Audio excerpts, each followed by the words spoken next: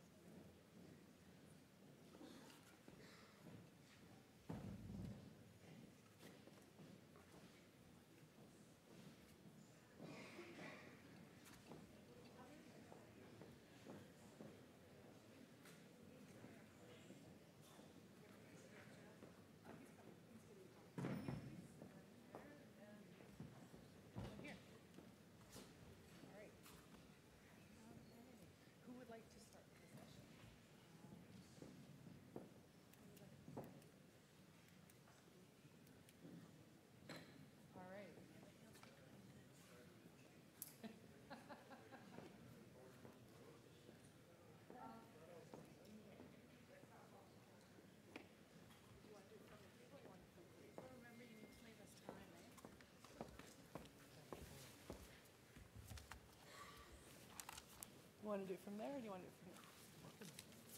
Perfect. Emergency management.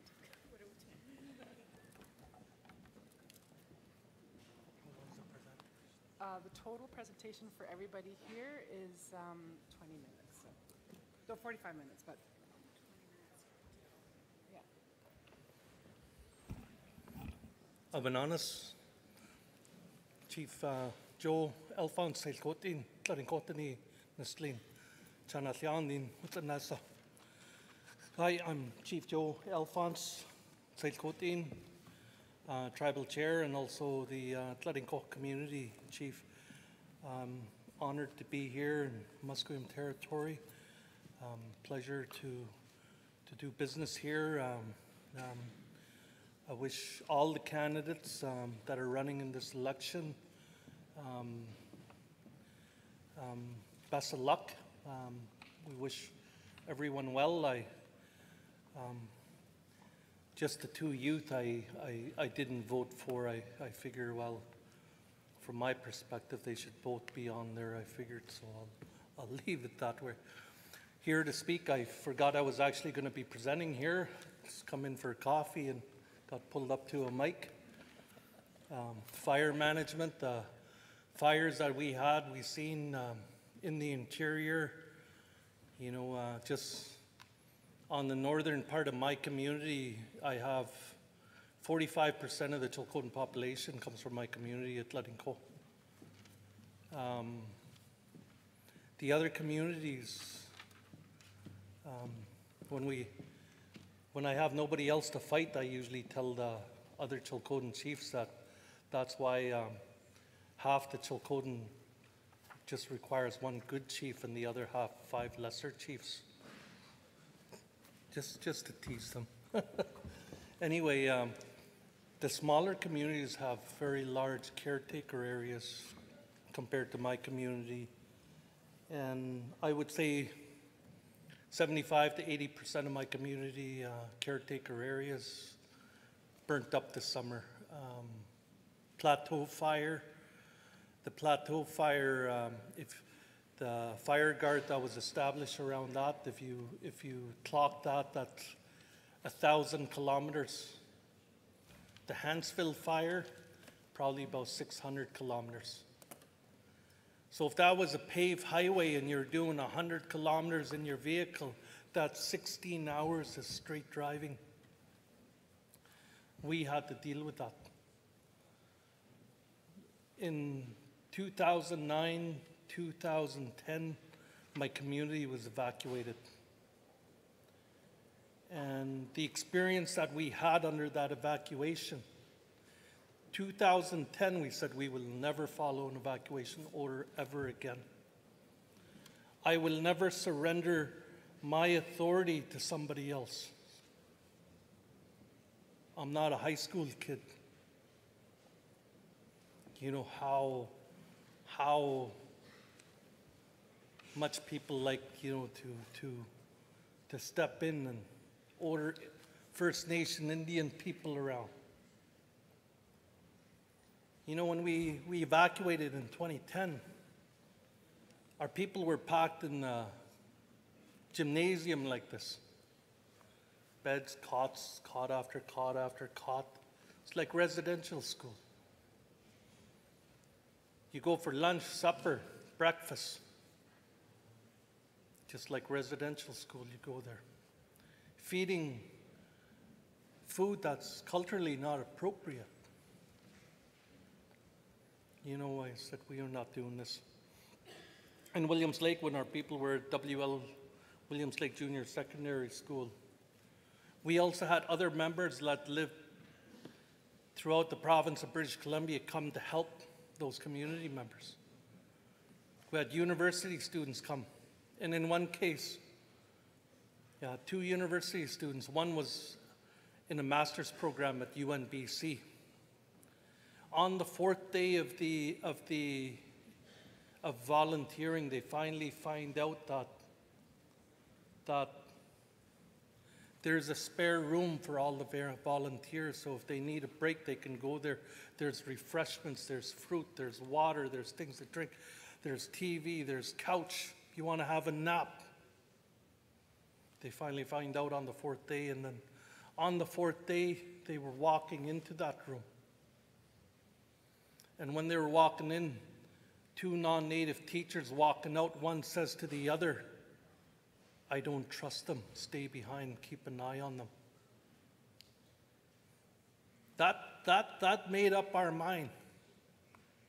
I don't want to be a burden to anybody. And if non native population views us as such, we're, we're not going to, to hell with them. We will look after ourselves as we've always done, generation after generation after generation. We better start preparing.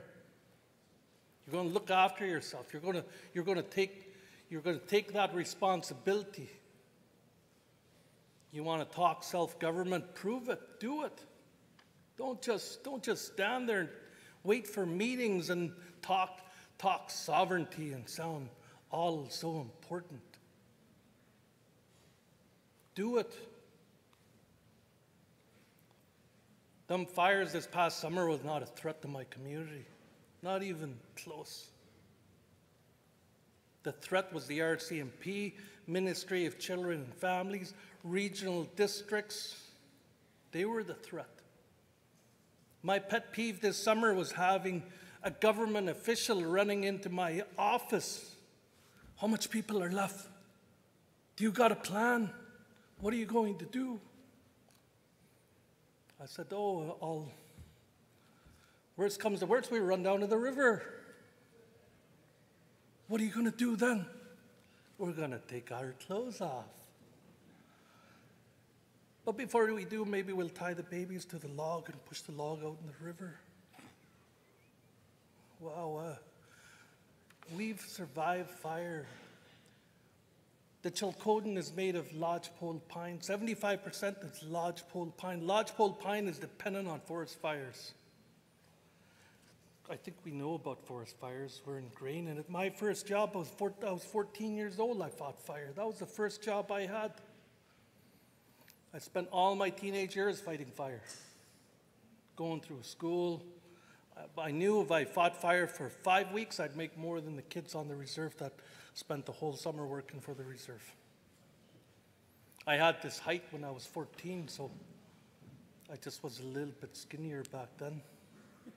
Put a big logger jacket on, and away I'd go. I'm 18 years old like that. So we come up with that plan. After 2010, we established um, our, our emergency evacuation policies. We're on version six. So when the fires hit, staff pulled that out, dropped it, says, we got to follow this.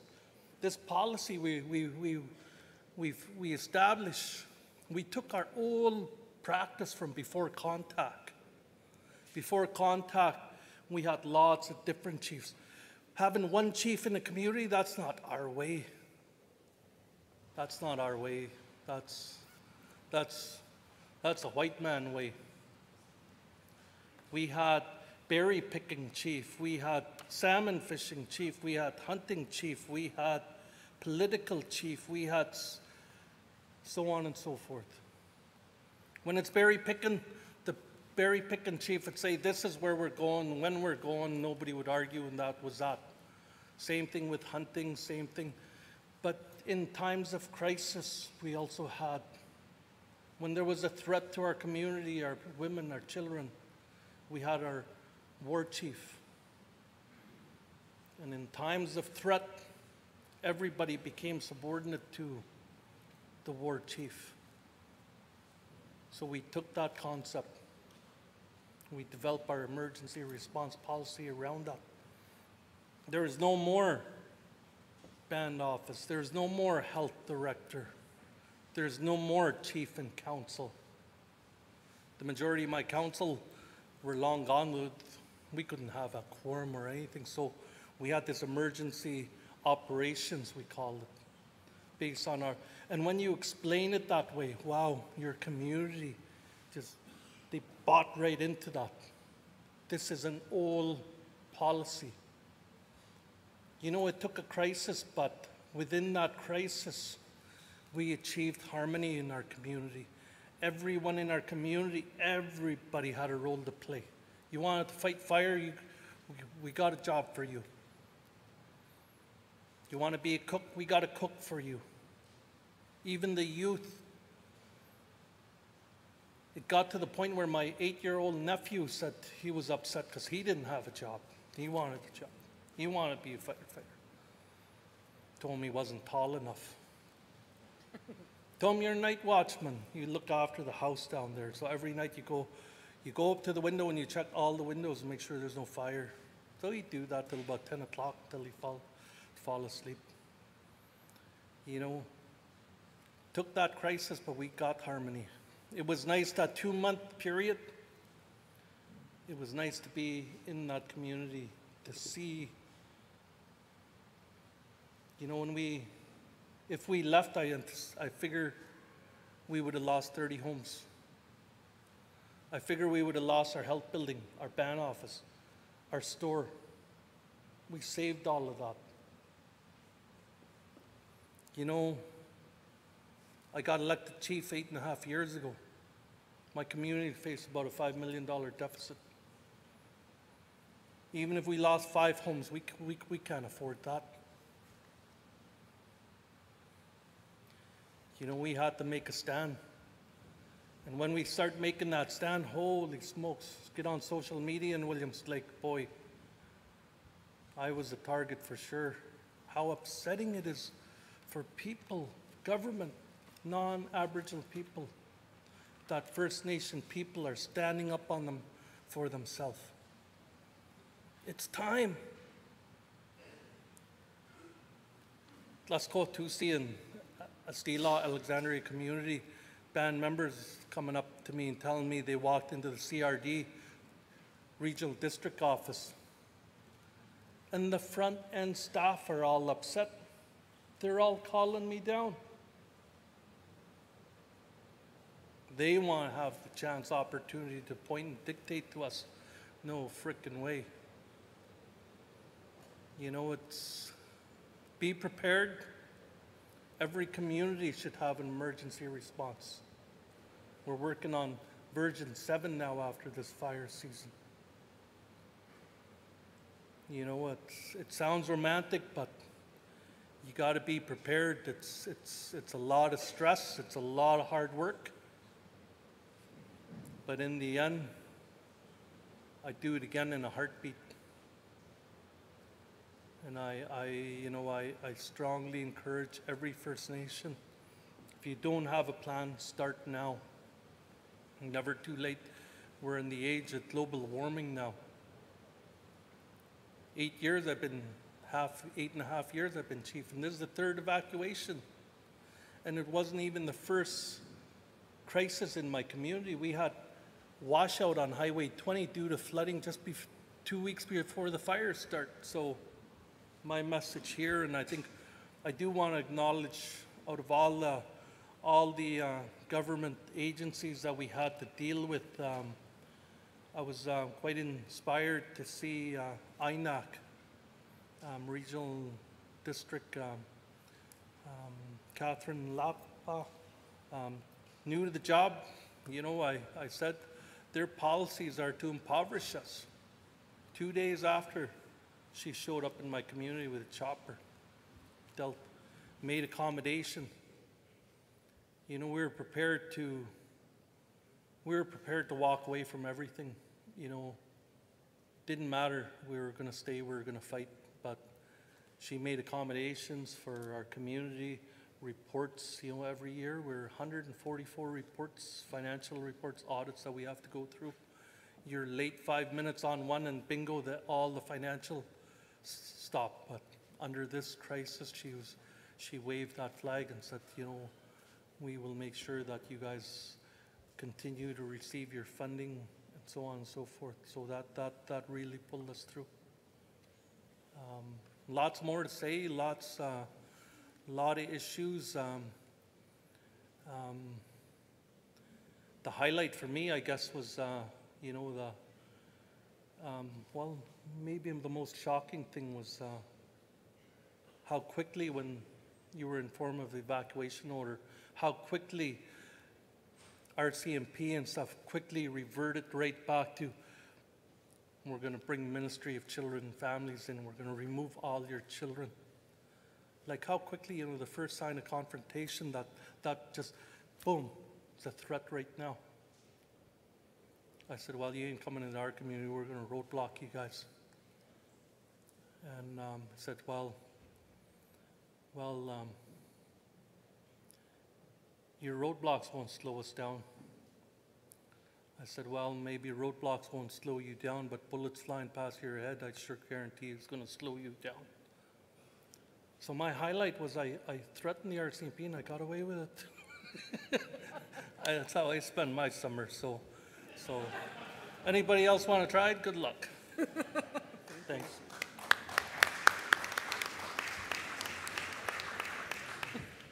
I'm going to make my way down the list as it's presented in the agenda. So next would be uh, Kim Namrava from the Canadian Red Cross. You're welcome to stay there or come to the podium as you see fit. Kim. So microphone number two, please. Thank you. And if you could tell me how to pronounce your name properly, it'd be great.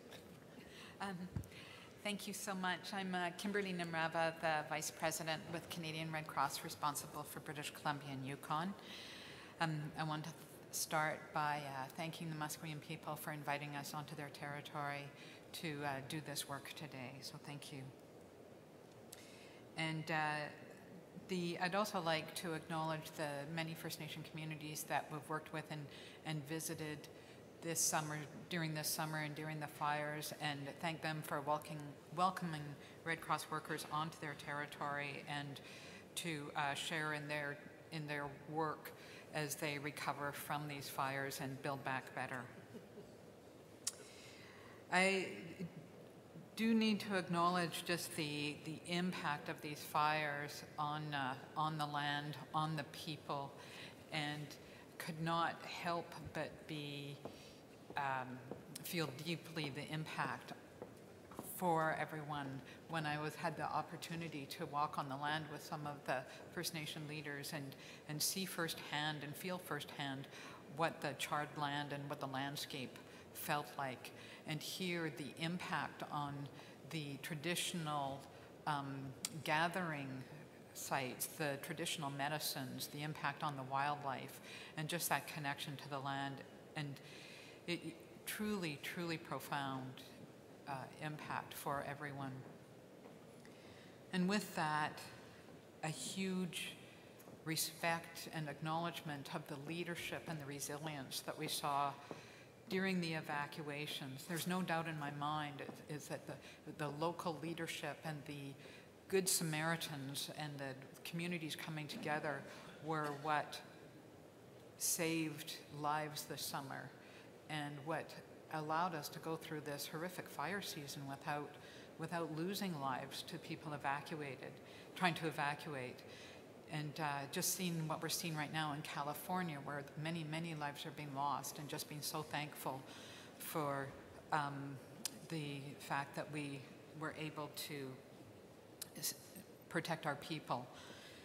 And just to seeing that the leadership and complementing that. I also want to compliment the outpouring of generosity that uh, we saw to so many people uh, from First Nation communities in helping not only their communities but helping other people, helping evacuees and strangers. And again, that really brings the, the true humanitarian spirit that, uh, that comes alive during these times of, of uh, stress and times of disaster. Uh, as a neutral humanitarian organization, the Red Cross is proud to work alongside all levels of government in providing humanitarian assistance.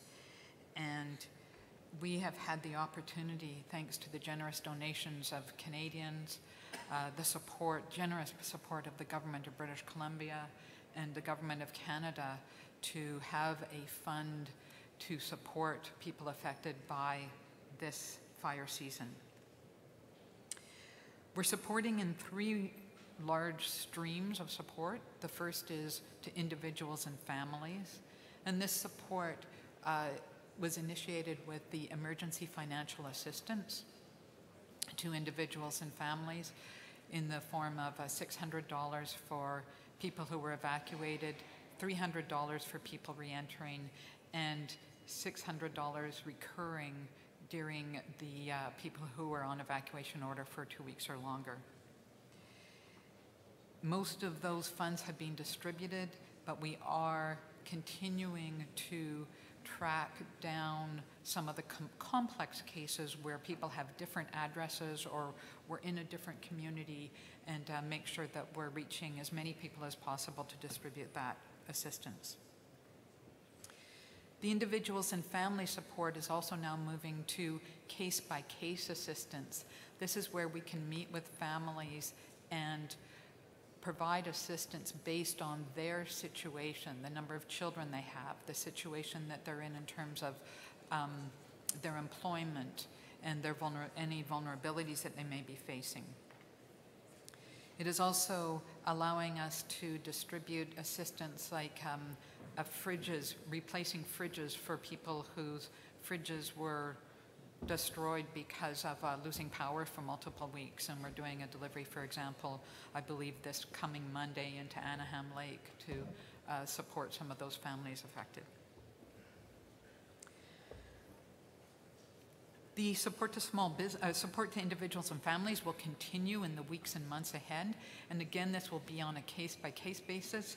And just a reminder is that if families find that a few months from now or weeks from now that they need support where they didn't think they needed it before, please encourage them to contact us because this is not something that if they if they don't need assistance right now, it doesn't mean they can't come to us for assistance later. The second stream of support is to small business, um, not-for-profit agencies, and First Nation cultural livelihoods. The first phase of this support is cash grants in the amount of $1,500 uh, for people, for small business, not-for-profits, and First Nation cultural livelihoods applying to this, to this stream. And this is to support in those extraordinary expenses that these uh, organizations or businesses would have undergone because of the evacuation. Similar to individuals and families, uh, the next phase of support to small business will soon be announced. And again, this will be done on a case by case basis with families working directly with um, our managers to be able to adapt and assess their needs on a case by case, which allows it to be, to be aligned to, to what their needs are. The third stream of support is community partnerships. This is a very flexible stream of support And we really encourage First Nation bands um, and not-for-profit organizations, local government to apply to the community partnerships. This can be used for initiatives like uh, healing ceremonies, welcoming back ceremonies. It can, has already been used to support funding for traditional harvesting or hunting where groups have had to go further afield to provide, to find food. And really, this is a stream where we are working closely with the leadership and, and invite the leadership and the members of the community to consider how can they not only recover from um, the fires, but if they incurred expenses because of their fires, if they hosted um, communities or incurred ex- extraordinary expenses because of the fires, this can also be applied retroactively to when the fires first occurred. The important piece about this one and the, the why community partnerships are really quite exciting is that these are truly led by the community and this is where we turn to the community for their leadership and their determination of how, what will best support uh, their people in the weeks, months, and even years ahead as they, as they uh, recover and prepare for the next disaster. The final stream of support under community partnerships is disaster risk reduction. And these are initiatives for families and communities to be better prepared for the next you know, set of fires. This is done in coordination with other agencies providing disaster risk reduction initiatives. So certainly we don't want to duplicate assistance and we are working with these other agencies like FNESS um, to determine how we can ensure that what we fund in disaster risk reduction complements the work that they're funding. Finally, when we look at uh, moving ahead, it's also how we can work with your community to be better prepared and make sure that when a disaster occurs, it's not the first time that we're meeting or discussing this, but uh, we can, how we can support you not on, only large-scale disasters, but also small-scale disasters that occur every day. The Canadian Red Cross has an Indigenous framework that we operate under. This was uh, recently approved by our board in June of 2017, and there are four key aspects of the Indigenous framework. One is the adoption of a spirit of reconciliation, acknowledging the past history of Indigenous people in Canada and making sure that we're honoring the recommendations in the Truth and Reconciliation Commission. The second is to work with the leadership in our work with Indigenous people. The third, to build among our personnel a constant and ongoing learning and uh, creation of safe, culturally safe and aware and uh, culturally safe and aware environments. And the fourth is um, having programs and services that truly build capacity and have a positive impact for people that we're working with. And finally, I would uh, encourage you certainly and welcome you to reach out to me or any of our Red Cross workers to find out more information on any of these initiatives. And encourage you as leaders uh, to remember to take care of yourself. These fires have been a huge drain on our leadership. And um, my experiences in working with leaders is that they're, they're often the last ones to take care of themselves. They're, they're so busy taking care of other people. And so, you know, we remind people at, at Red Cross, we remind people to make sure that the leadership also takes care of yourself so that uh, we can, that you can continue the great work that you're doing. Thank you. Thank you very much, Kim. And we're going to turn now to Rebecca um, Denlinger, is that correct? And that's Dep she's Deputy Minister of Emergency Management, British Columbia, and she's on microphone three, please. Good morning, everyone. I too would like to acknowledge that we're meeting on the territory of the Musqueam people, and I'm uh, grateful for the invitation to join you here at this important gathering. I uh, have notes that I got from my office, and as I sit and listen to you this morning, I've been scribbling all over them. They're a big mess now. Of course, because what I hear from you or when I sit in the room is far more important than anything that I thought of when I sat in my office over in Victoria. Um, and one thing top of mind for me, I also want to acknowledge the sound of the rain hitting the roof. And I know that soon, if you live on the island, on Vancouver Island, the fall flooding season will be on us. I, I work with Emergency Management British Columbia. We call it EMBC if you're not familiar with us.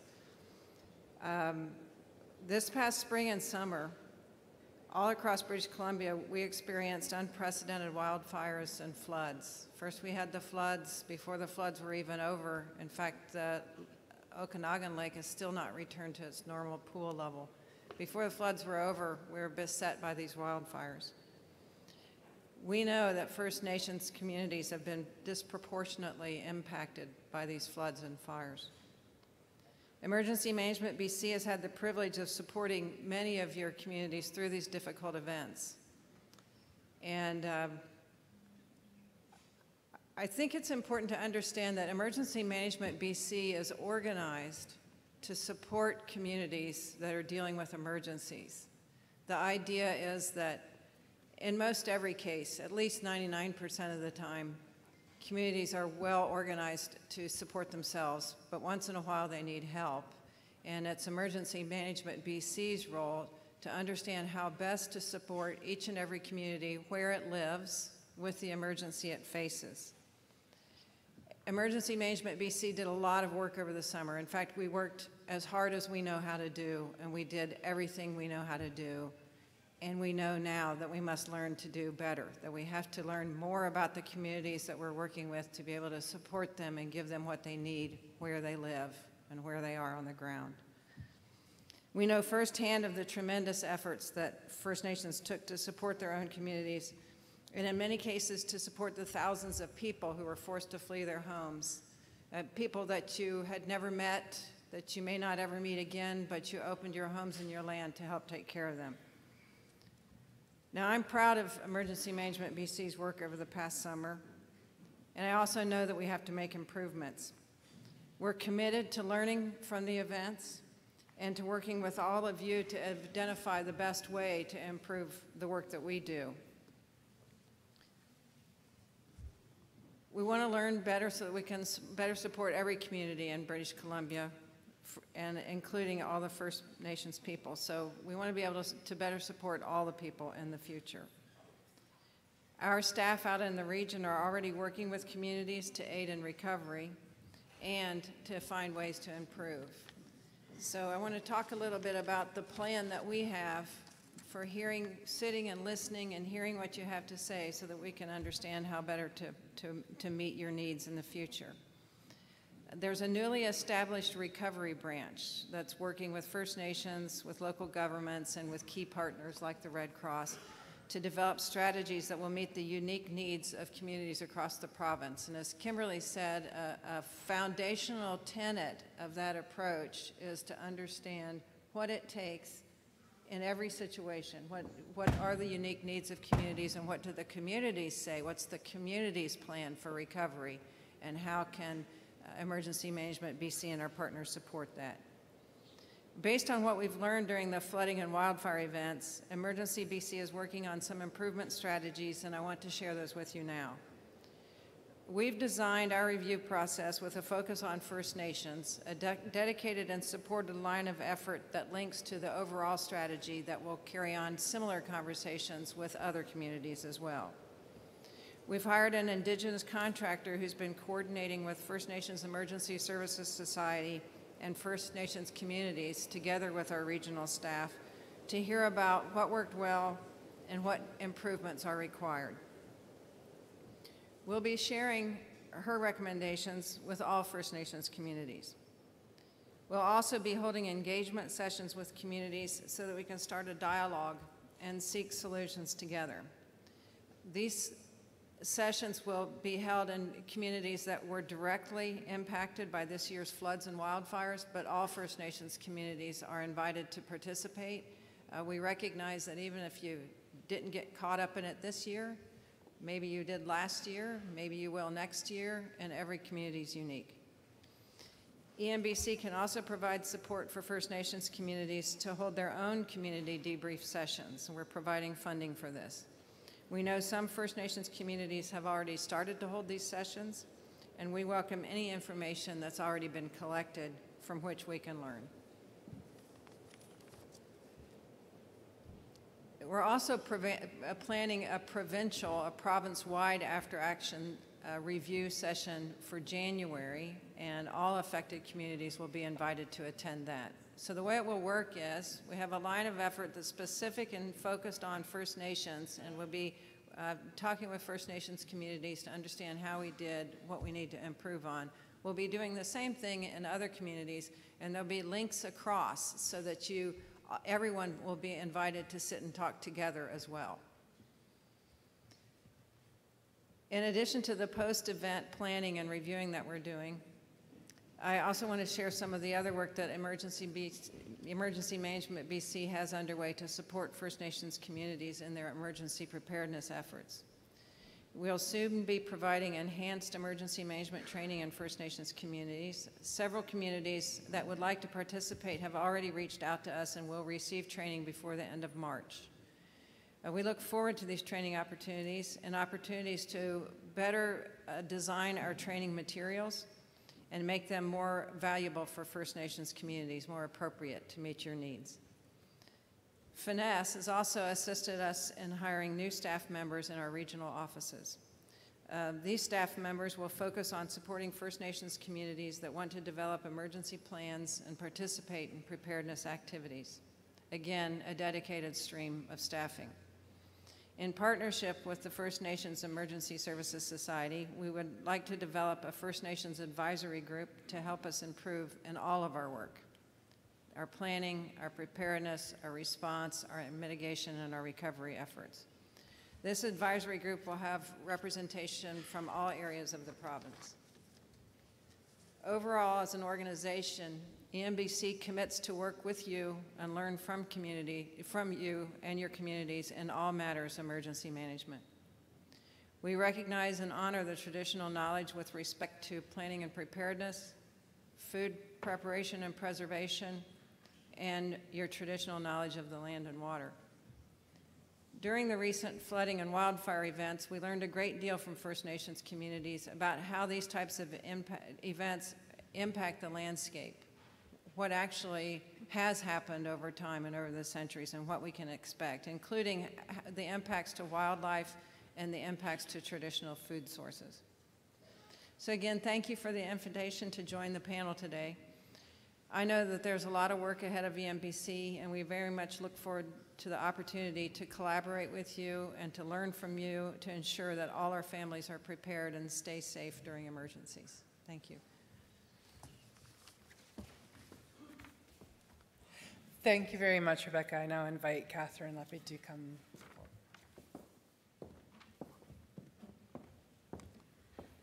Good morning, everyone. Um, It's a great pleasure to be with you here today, and uh, I appreciate uh, the Musqueam people for uh, having us on their land. I'm going to speak from the mic because I know it is really hard to project with, uh, with the rain here. Um, You've heard a lot already, and I don't want to spend a lot of time talking about what we've done, but maybe turn our minds a little bit as well to what still needs to be done. Um, There were tremendous successes, as uh, Becky and others have, uh, have shared, um, and there's lots more work to be done to ensure that uh, in the inev- inevitable situation that these uh, situations occur again, that we're better prepared, we're better coordinated, and better uh, resourced to address these issues moving forward. I will start by saying I am Catherine Lappe, but I'm not the RDG of Crown and Indigenous Relations. Um, as you know um, about governments, we're really good at doing some things quickly, like appointing new ministers to new roles, but it takes a lot longer to move the bureaucracy.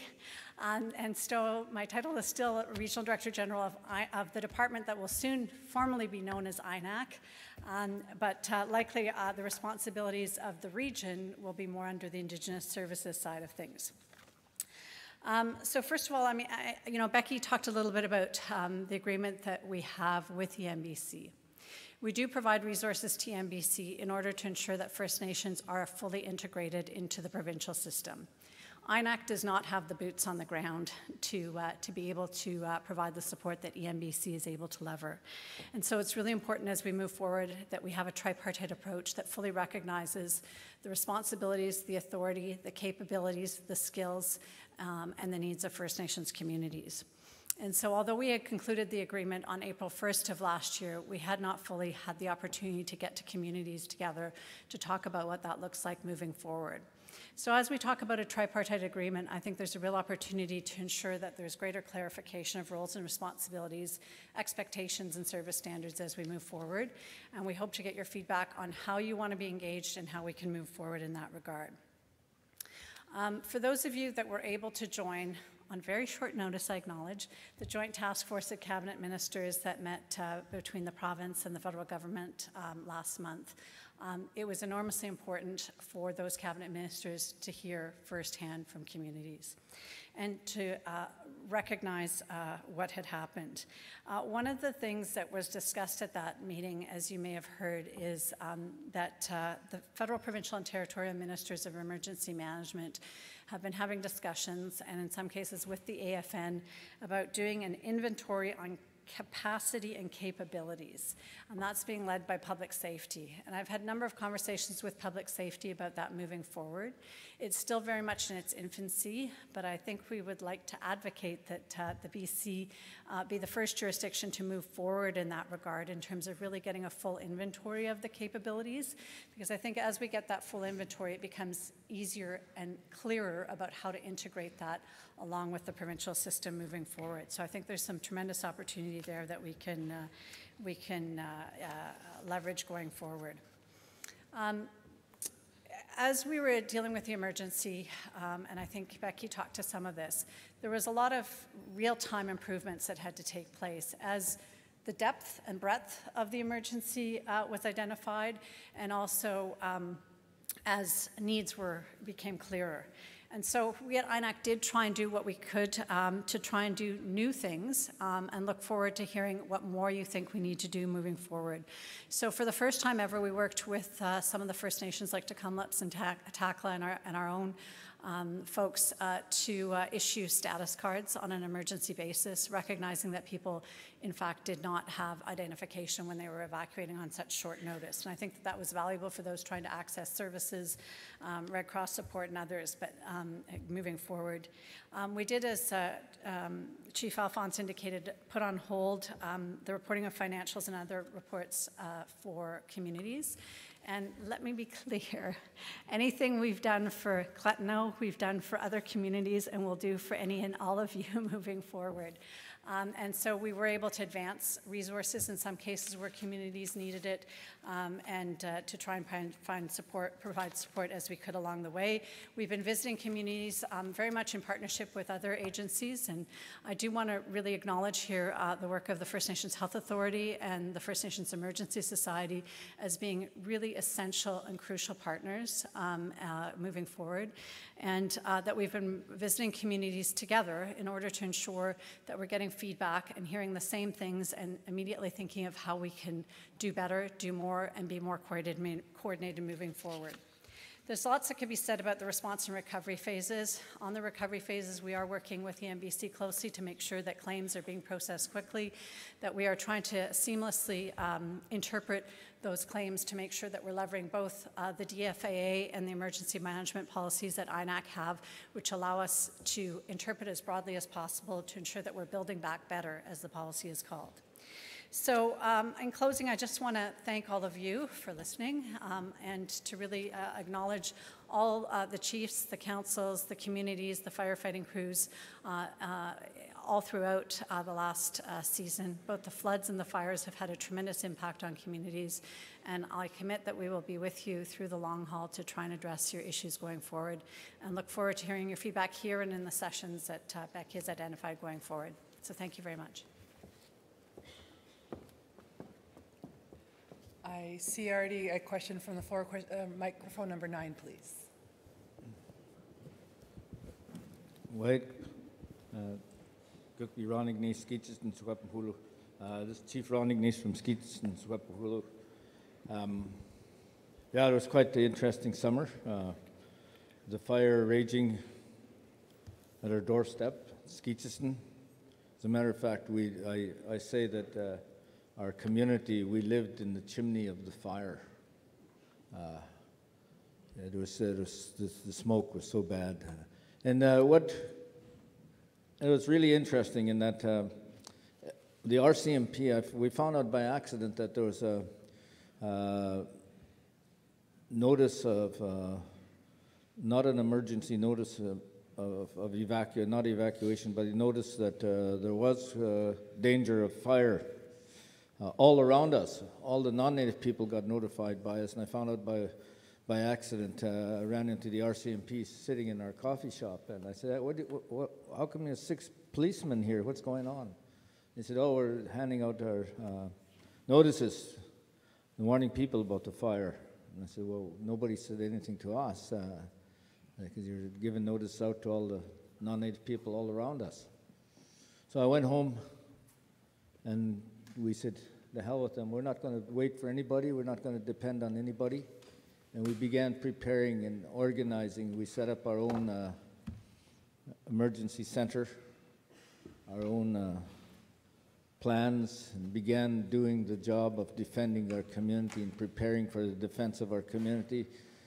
Uh, but rather than getting really angry, what we did is we began, I, I began building bridges out uh, to the uh, to the firefighters, uh, to uh, to outside community, and letting them know that we have uh, that we have a role in this fire. This is our homeland that's on fire, and so we uh, I invited the the, um, the firefighting camp to come and move over to our uh, to set up their camp on our reserve as they had to move. And when they came in, I invited Cookby Christian and other members of our council to uh, to welcome them into our community. And uh, we did a ceremony, a, a smudging ceremony. Uh, and as I turned around, uh, there was uh, a whole line of firefighters behind us waiting to be smudged as well. So I told them, you guys are doing a hell of a job smudging us already. uh, uh, but, uh, and we gave them a history of our, our territory, of the importance of the land, the wildlife, the food plants, the medicinal plants up there. That's what they're fighting for. They're defending that for us. And when we got, when we already originally got there, there were 300 individual firefighters fighting a fire. When we left, I'm convinced that there was a team of 300 firefighters with a mission and a vision. And uh, we also, we also uh, appointed representatives from our community to go up to the mountains to, to tell them where, where best to put the fire breaks, where best, uh, which way the winds were blowing in which valley in, in the morning and in the afternoon. We sent, we, we had our people going out and GPSing the fires, exactly the exact boundaries of the fire. Their infrared mapping was, was an approximation. And so we were able to, uh, to be much more, make them much more effective and efficient firefighters. But on the mean, meanwhile, what, uh, what they had done to a group of our Soquepan firefighters is rather than keeping them at home to fight the fire in the territory that they well, they're very well familiar with, they were sent way up north and, the, and they were phoning back to us and saying, hey, we're lost. Can you get somebody to find us? you know, we've got to keep the people in their territory that know their territory to fight the fire in their territory. And we even had our own firefighters go and try to volunteer, and they said, you're, you're, you're, not, uh, you're not experienced enough. uh, that was, uh, so we had a, and uh, as it turned out, the non-native communities around us. Oh, and the, the other thing that we did, the RCMP were uh, Could give- be Ron, I'm just going to ask you to, to. uh, this is important. I understand to- it's I need important. to talk about it. This is an important issue. It's a life and death issue, you know? Uh, It's, it's got to be discussed. We got to know, we got to develop a plan. and we know the problems, the issues here. The RCMP were getting lost in the mountains, and we had to uh, send a person around so they could know where to do, how to do their work properly. We have a role. That, what what has ha- what has got to happen here is the provincial government has got to quit managing the forests for fiber for the mills. They got to begin managing the forest for water, and we have to be able to take back our management tool of, of fire. For thousands of years, we managed those forests using our uh, fire as a tool. We got to be able to take that back, and I'm going and I'm I'm moving in that direction myself. I've done so already. We've been able to bring back two keystone plants as the use of fire and getting rid of uh, invasive species. There's much that we can learn from each other, and uh, but we need to work together on this. And a lot of our Shuswap communities were invisible. I, I listened to all the Shuswap chiefs. They weren't even, uh, and some of them were even shut out. They weren't even, their cries for help were ignored while their houses burned. You know, that there is, a, there is a, uh, I have to say, there is a curtain between us and the non-native community when it comes to emergency preparedness. And we got to, as nations of people, we got to put together our own emergency preparedness plan and uh, look forward to working with my fellow Cook, and Shuswap country to do that. Uh, it's uh, what happened here uh, exposed a lot of uh, things that weren't very nice that we need to get get straightened out in this country. Thank you. Thank you very much. It sounds like, uh, from what I hear, we've heard some lessons learned from one territory, a snippet of lesson learned, and perhaps it's something that you may want to consider dedicating a day to this somewhere uh, closely down the road with these fresh lessons learned and how to move forward in a good way. It's just a remark as an observer here. I do have the electoral officer next to me, so I'm just going to stop here and, and check in with him. Good morning, everybody. Um, sorry to interrupt. Uh, we have completed the ballot counts. Thank you all for turning up this morning. It was a great turnout. Pleasure to see you all. Um, so I'll make uh, three announcements here, one for the uh, position of youth, female youth representative, one for uh, the four positions available for the board, on the board of directors, and one for the regional chief. So first of all, um, there were two candidates for youth representative, Angela Charlie and Adina Williams. Angela Charlie received 69 votes. Uh, Adina Williams received 67, so a very close run race. And congratulations to, uh, to Angela.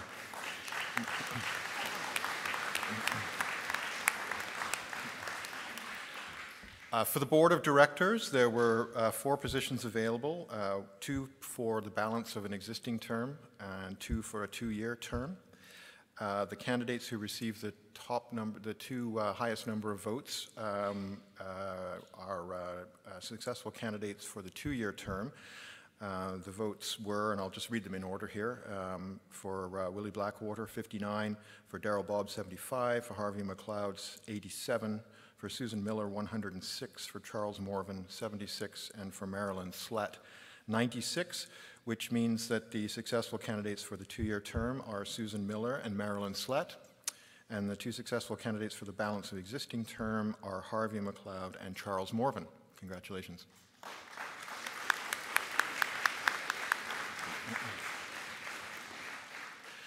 And uh, uh, drum roll, please. The, uh, the uh, regional chief ballot, uh, we had two people on the ballot, two candidates on the ballot, Maureen Chapman and Terry Teegee.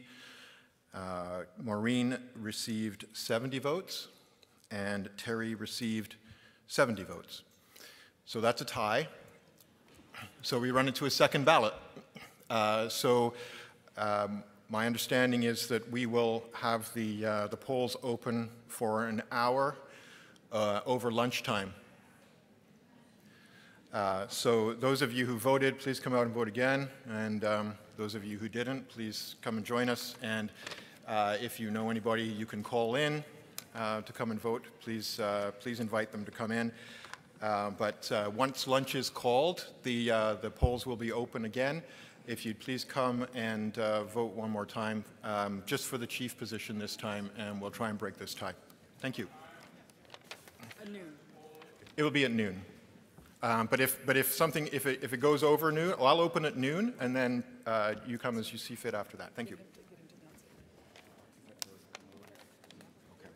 Uh, And I've just been told as well that we're no longer accepting proxies. Um, So the, the, uh, all the proxies are closed at this point in time. Um, So uh, if you, if you have a proxy, um, please come and vote.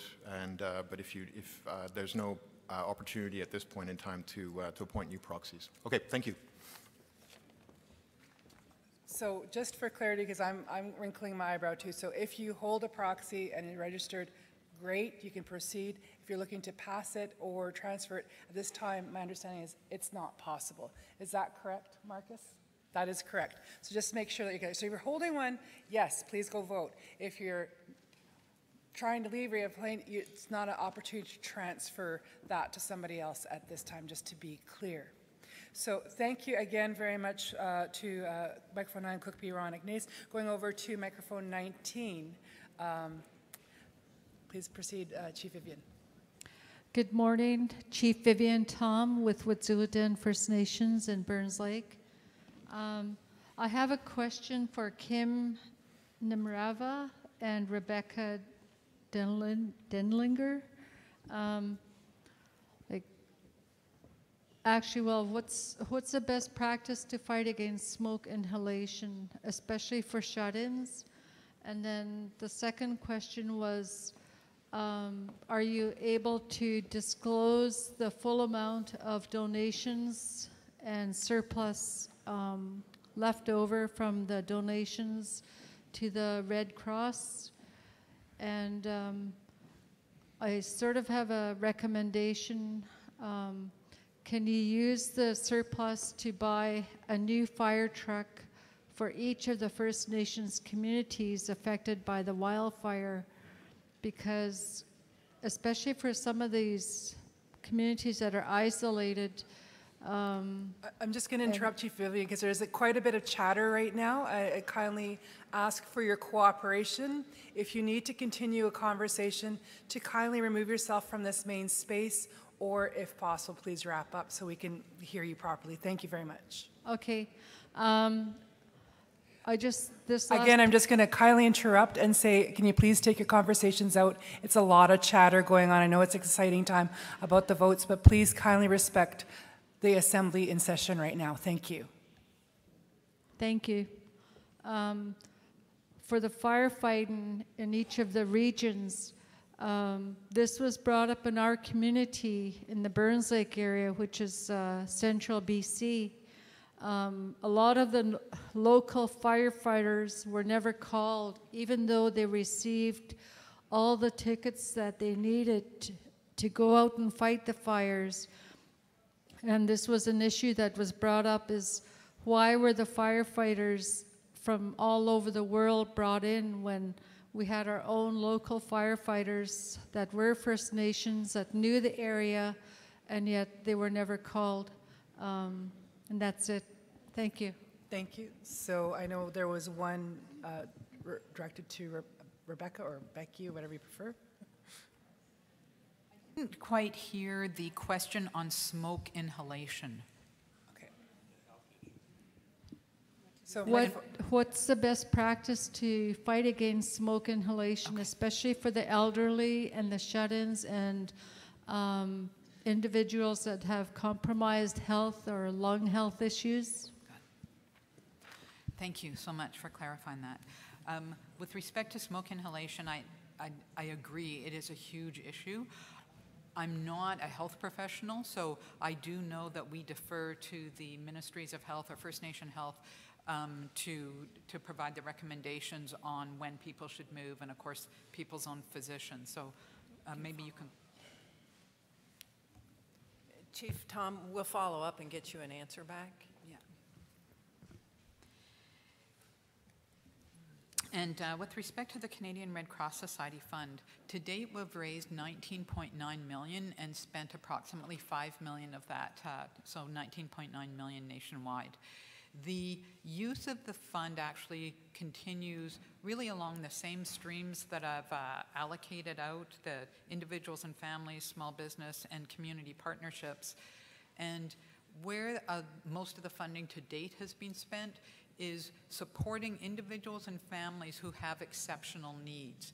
So we've used the money when, just some examples, where um, some evacuees uh, had a son that needed medical treatment and needed to be um, uh, needed the family needed to travel to Vancouver to get him to Vancouver Children's Hospital. So would support those type of special needs. We use some of the funds to provide some traditional food to uh, First Nation elders who were in um, a shelter. We, so we use the Red Cross funds to provide humanitarian assistance outside of what is provided by government or insurance companies or other needs. I, and maybe Becky can speak to um, furnishing fire departments with, um, with fire trucks. That is not actually within the mandate of the Canadian Red Cross in our, in our charitable purpose as an organization. We don't generally do um, fire truck provision, but we certainly are more than welcome to discuss what other needs your community may have to support either what happened during the fires or moving ahead. Uh, Microphone three, please. With respect to the uh, um, idea of purchasing fire trucks, that's exactly the sort of discussion that we'd like to have when we have the uh, sessions, the after-action review sessions, so that we can understand exactly how that would help the situation, so that we'd have a better outcome in the future. So uh, If you could please ensure that you're, either you are able to attend or someone representing your interest can attend one of those sessions so that we can get your input and that idea on the table. It's, um, we've heard it once or twice before as well. It's um, something that we'd like to take a look at and consider. You also asked about the firefighters, uh, your firefighter team who are certified and weren't called into action. I'm not able to speak to that. The BC Wildfire Service made decisions about who, who to employ and, and where to put them, but I will ask them to provide an answer to you on that and follow up. Thank you. So we'll go over to microphone number 23, please.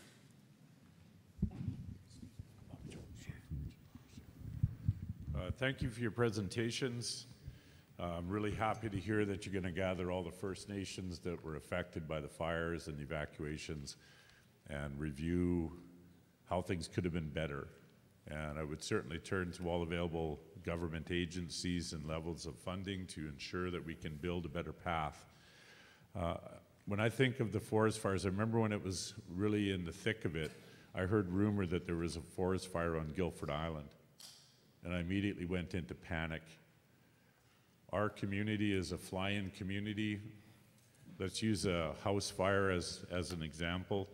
If one of our houses caught on fire, I believe we would have between 15 and 30 minutes of water to use to put that house out.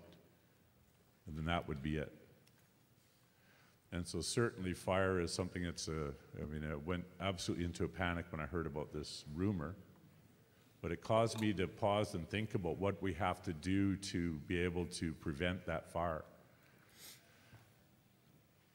You mentioned a fire department. If we were to phone a fire department, we'd have to wait for the barge to arrive in Port McNeill and load it up and a couple hours into the village and get there to maybe help. And so I know our community is not as wonderful and unique as it is. I know the situation is not unique. That many First Nations face this same situation. So when I look at the recommendations from Grand Chief Ed John's report here and the proposal, uh, reviewing certainly number one and number three are are really important to our First Nation. And so we need to be able to examine how do we address the situation that I just described. And I recall some of the talk that I heard about going out and doing the clearing of available fuel for fires around communities that very action of removing it increased the potential for more fires. And so I think that during the winter months is a, is a time that we need to examine what needs to be done. And then we need to make the available resources available to communities so they can get this work done when it's not a risk of causing a fire. And so when the fire season is upon us, that we've dealt with available fuel as best we can instead of letting it grow all year. But I think we really need to take this seriously. It's a long-term Uh, I believe, uh, as a result of global warming, that we really need to make a very serious effort to ensure the safety of our communities. Thank you. Thank you. Uh, Microphone four, please. Just wanted to make a comment about the smoke. Um, smoke is a big threat. Um, we lived in smoke for two months. You have to have a plan, and your health department should have an idea who who in your community all has breathing issues, heart issues, all of that stuff. And you know, you just because we said no to the evacuation order doesn't mean we did not have a plan. We had a plan. We were shifting our people throughout the province constantly. And if, if at all, at any point, the preference is to send them off to another First Nation com- community elsewhere where they'll be looked after from a First Nation perspective, where they're, they're fed culturally appropriate food. Um, and if you're going to evacuate, my advice is to evacuate them as far away as you can. You know, for my community, 100 mile uh, or Williams Lake wasn't far enough. They Williams Lake ended up getting evacuated too. So I would tell them take my members either to, to Prince Rupert or Nanaimo, get as far away. But as it turns out, the majority of our elders spent spent the summer in um, Abbotsford, um, Stolo territory, where they were looked after by Stolo Nation. So those nations, thank you. Um, another point, um, um, INAC Canada has offloaded its responsibility to EMBC. A fire hazard, a crisis, is no different than, than logging exploration, mining exploration, where you're supposed to be consulted, where every aspect you should be consulted, where you have input. A fire and a crisis like this, the same situation has to occur, and you, you have to demand it. You know, I threatened to kick all the firefighters out of the Chilcotin territory. So we don't care. If you're not going to follow us, then, then, then we're going to let the whole frickin' thing burn. It's those white ranches you guys will have to deal with after, after the fact.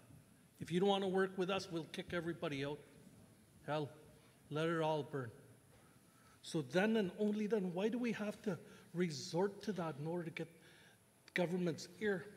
Justin Trudeau, we met with him during the fire, talked about these things. I said, you know, EMBC and others have to listen to us. Those are our dollars. We have to be heard. You know, we, we did our own BCR, but we, we didn't submit that to CRD or any regional district. We did it, Tsilhqot'in and CRD, and we did our own governance. That's what you have to do. You sign that BCR, boy, you're handing over all that power. I'll advise you, you cannot be evacuated unless you sign a BCR for your community. Educate yourself. You know, do it on your own. Stand up on your own. Do it. Take that challenge on. We've made mistakes, oh boy, we did. But man, we learned from that. I told Justin Trudeau, you know, all the problems we had with the province, CRD, and everyone. And he talked about the challenges he had. I told him, you know what, I think, uh, I think the conclusion I come, come up with is that uh, BC is definitely a problem. And as it turns out, they're not in the room. So let's just cut them right out of the whole equation. Let's just go Canada and in the Chilcotin, maybe we'll just have a Canada and South in law. No BC, kick them right out. He said, I think that might be a little bit challenging. but the message be prepared, develop your laws. Finance, another big part, like every last single transaction we did, boy, we, I told them make it, make that so that it's prepared for an audit because, boy, everybody's going to be looking at us from every angle, hoping we're going to fall flat on our face. You know, have faith in your firefighters. We, we trained 500 firefighters since 2010. We have some of the best heavy equipment operators. You know, if, if I don't have the best firefighting equipment you can get is a bulldozer. If your community needs to buy one thing, buy a bulldozer. You build a big, wide, just keep building guards around your place. Dirt doesn't burn. So Thank you very much. We're going to turn to last people on our speakers list. It's uh, microphone 14 and microphone 14. That'd be first uh, Chief Byron Louis, followed by Chief Harvey McLeod. Uh, I do know uh, that we, and we thank uh, the Attorney General, uh, Honorable Jody Raybould Wilson, for joining us. Um, We will be getting to her right after these last questions and responses. So microphone 14, please. Uh, Byron Louis, chiefly Okanagan Band.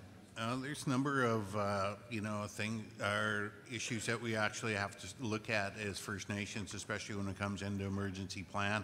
Uh, this year was probably the first year we didn't have to deal with wildfires, but we had to deal with flooding.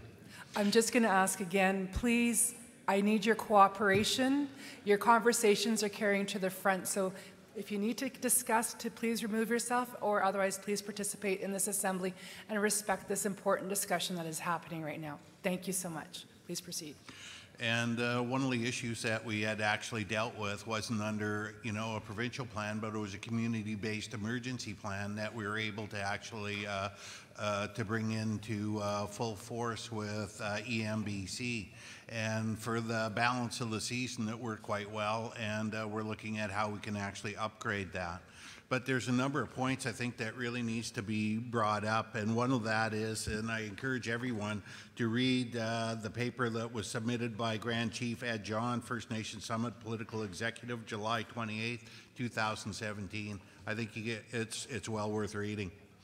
And uh, based upon that, I think there's some of the things that really needs to be looked at is I agree totally with that concept that the Canadian bilateral agreement needs to be reviewed because it excludes First Nations right out of the picture of uh, how that's going to be done and more or less delegates that authority down to the province. And that is what we learned through our experience. And uh, the other one is when we're talking about uh, for First Nations being prepared to look at full integration into emergency planning in the province, that uh, this will take a government wide or a whole of government approach because we're going to need to be able to access funding from a lot of different other sources, just not from the Department of Indian Affairs. And, uh, you know, that I, I will say that is probably one of our biggest problems in the past because it's been only one department that supposedly is supposed to look after all our needs. And uh, if you actually uh, look at Infrastructure Canada and looking at how you can actually access funding for that, well, this is the kicker that it actually goes through the Minister of uh, Minister of Transportation and Infrastructure, or MOTI, in the province of British Columbia, that provides Infrastructure Canada uh, with uh, uh, a list, and they are the ones that identify the list of priority projects for funding. So, surprise, surprise, if you don't see a First Nations being mentioned on that. And, uh, you know, I think it's really important that we have to look at how we are uh, able to actually be integrated into the regional emergency uh, plans because, you know, just based upon our community, the emergency plan we have uh, in place, our past experience with wildfires, one in particular was uh, the Salmon River fire, where uh, not only were animals of refuge,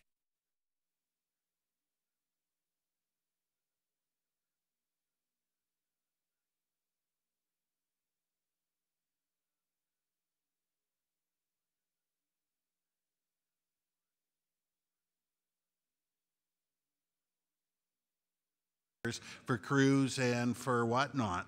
So we're we're already moving towards uh, you know being integrated into this overall uh, emergency plan, and I think one of the things in there, again, what I mentioned is INAC and their own policy that makes it impossible for even protection at the community-based level. Because how many people in the room recognize the fact that each of us are only allocated, I think it's 500 liters per day per household and the reservoirs are based upon this. And if a reservoir is based and you have 20 houses on there, it only covers off that 500 liters per family, and it does not take into consideration emergency requirements for fire protection. At one moment this summer, or the previous summer, the reservoir that we had on our reserve was, uh, you know, uh, based upon this formula, we had exactly 40 minutes in that reservoir for fire protection. And, you know, when you're dealing with forest fires in the community or and especially in the interior, 45 minutes is something that and that is the truth. And I think this whole thing is that we really need to take in, the, you know, take into account. And again, I encourage people to uh, read, uh, you know, the proposal that's put forth by Grand Chief Ed John because it talks about uh, what we're talking about is real money in that. Is about 200 million that would be required, if not more, for that for emergency planning because we've been denied access to infrastructure since, uh, well, I'd say in, since Confederation.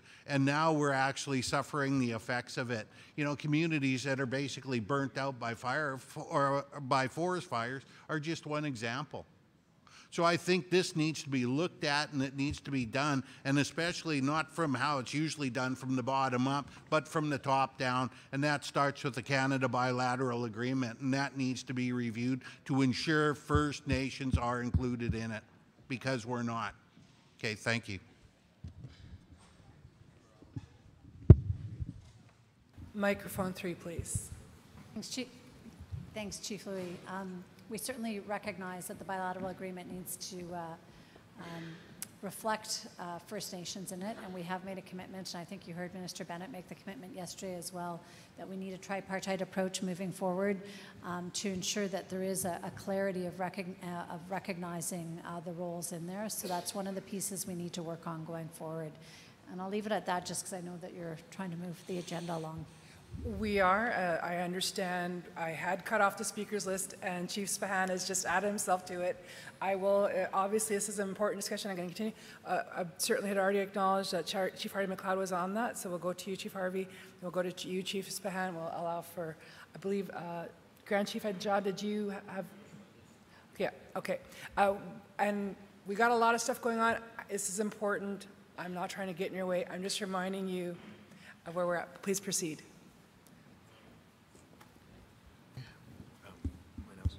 Waikashkal Halti Peace Taxiluk, Harvey McLeod, Chief Upper Nicola, Okanagan Nation. I just want to start by thanking the panel for being here this morning and to listening to better understand what we as communities are going through. We didn't have the fires this year. We haven't yet, but we did face the uh, the water and the spring floods. And we learned a lot. Thank God we had a, an emergency plan. Thank God that we got a PREOC emergency number. Thank God that we found out that there was assistance available to the community via um, an agreement between the feds and the province to assist communities like ours that were going through a situation like ours. That wasn't learned until after the fact. What we learned is something that we've been preparing ourselves for. We know that what we faced this spring, it will come again. It probably will come next year, if not next year, the year after with the water. And what we want to start talking about. And it'll need a lot of discussion, not only with our community, and not only with the federal government or the provincial government, but the other water users and the land users in the area. The water's going to come down. There's nothing to hold it back anymore. The beetle bug took everything that uh, the water or the snow to hold uh, the snow in the mountains, and that's not there anymore. We talked about 20 years ago about a water management plan for the Nicola. And that water management plan, a lot of effort was made by the municipality of Merritt, the TNRD, and the First Nations communities in the Nicola that included all of the ranchers on what are we going to do to control the water in Nicola. And that a lot of effort was made into that plan and it was shelved. And a nice, beautiful dam was built in Nicola. Um, and that dam doesn't do us any good. It doesn't assist um, anybody that lives above that dam. Thank God that the city of Merritt is below it because they can close the dam and save the city of Merritt, but we get flooded out. So we need to go back and have a look at that and look at preparing. If we're talking about preparing for emergency, that is one of the areas that we're going to have to have a look at the prevention. And also to have a look at communities like ours that live on a floodplain and the issues of living in a floodplain. We don't have uh, pipes carrying away all of our sewage and everything. We got septic tanks. And that was one of the big issues that we faced this year. So, as we're talking and dialoguing, let's put that on the agenda as well. White Limland.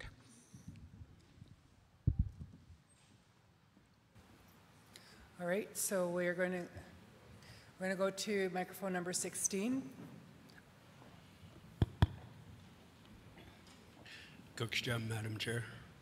Uh, and squash Lee Spahan, Cook Bay of Insuletku. Lee Spahan, Chief of the Coldwater Indian Band. Um, as you heard uh, Chief Harvey say that in the Nicola we didn't get impacted as with forest fires this year. But um, what did impact my community and always does is the closure of the Coquihalla Highway. Every time there's an accident between Merritt and the Kingsvale turnoff, they redirect all traffic to go through the Coldwater Indian Band land. And that's a huge concern for me and my community band members. Because when you have traffic that's used to going the posted speed limit, which is 120, but they're going about 140, 160, and the speed limit through our through our reserve is is 60, they ain't going that speed limit.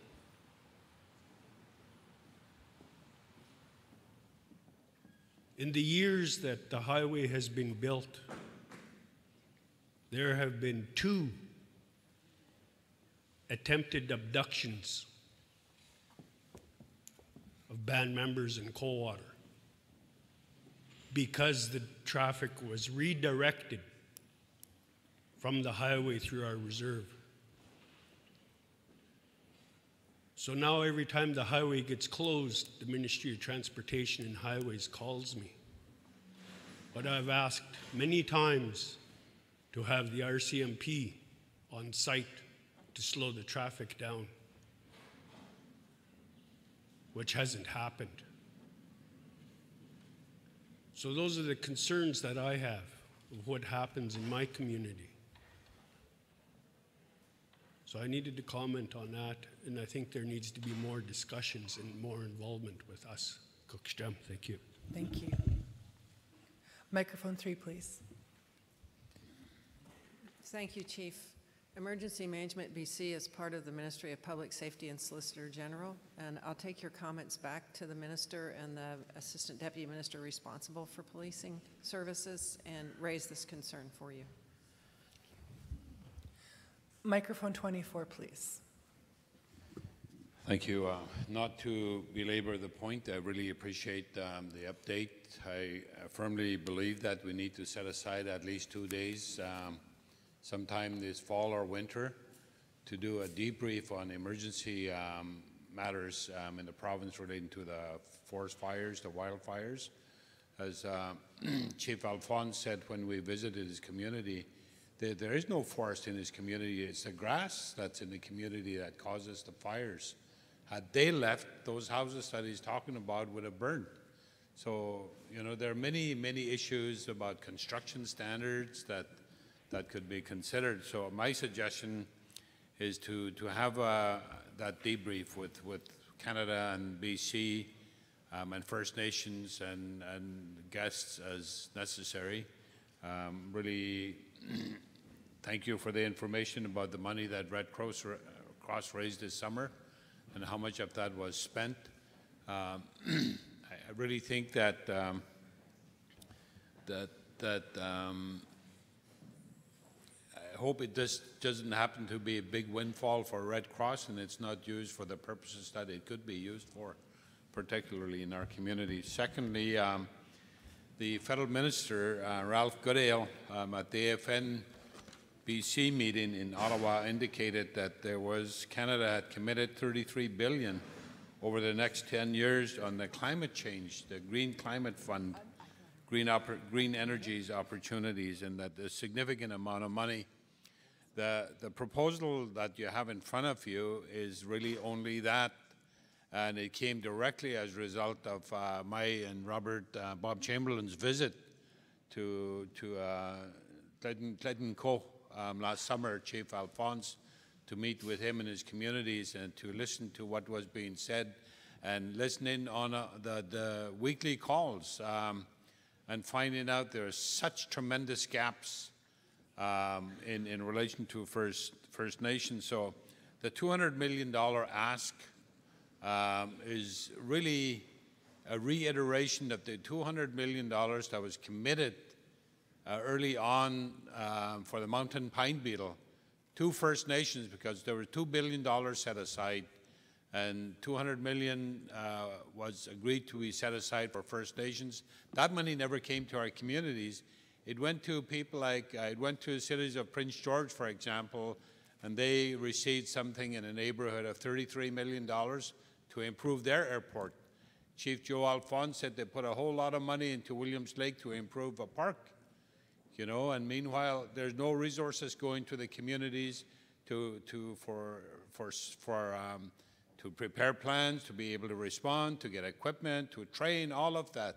And so this, this money, it really say 200 million is about a million per community over four years, that $250,000 that could be used to help um, develop that. It's, I don't think it's, uh, maybe it's, maybe it's not enough, but some people, oh my God, $200 million, well, you know, um, the reality is that non-Aboriginal communities are provided funding by the province to do the necessary preparation for emergency management. That kind of money from the department, from MAR, was confirmed by MAR that First Nations do not receive any resources like that. So I think it's wrong. Uh, there's an inequity here that, that needs to be addressed. And this, this amount of money um, um, is something that First Nations uh, in, this, in this province could use. I think the money that we heard um, Catherine saying that that money is going to AFN in Ottawa to do capabilities and capacities assessment. Put that money in British Columbia to our communities to be able to do that assessment, not to put it into Ottawa. Put it into the region. We have FNESS that can do that work. We have our communities who can do that work. And we can set up a small task force of our leaders who can lead that work, those who've had direct experience in this. So um, I agree with Chief Joe. Uh, this is like any other other resource that should be where First Nations should be consulted and there should be discussions about how, how those resources are used. That the question would be to, be to BC in Canada, what did Canada pay to the province this summer to protect our communities? We know what the Red Cross amount is. We may don't know, maybe we don't know what Canada's paid under the MOU to BC to, to provide these services. So let me leave it at that.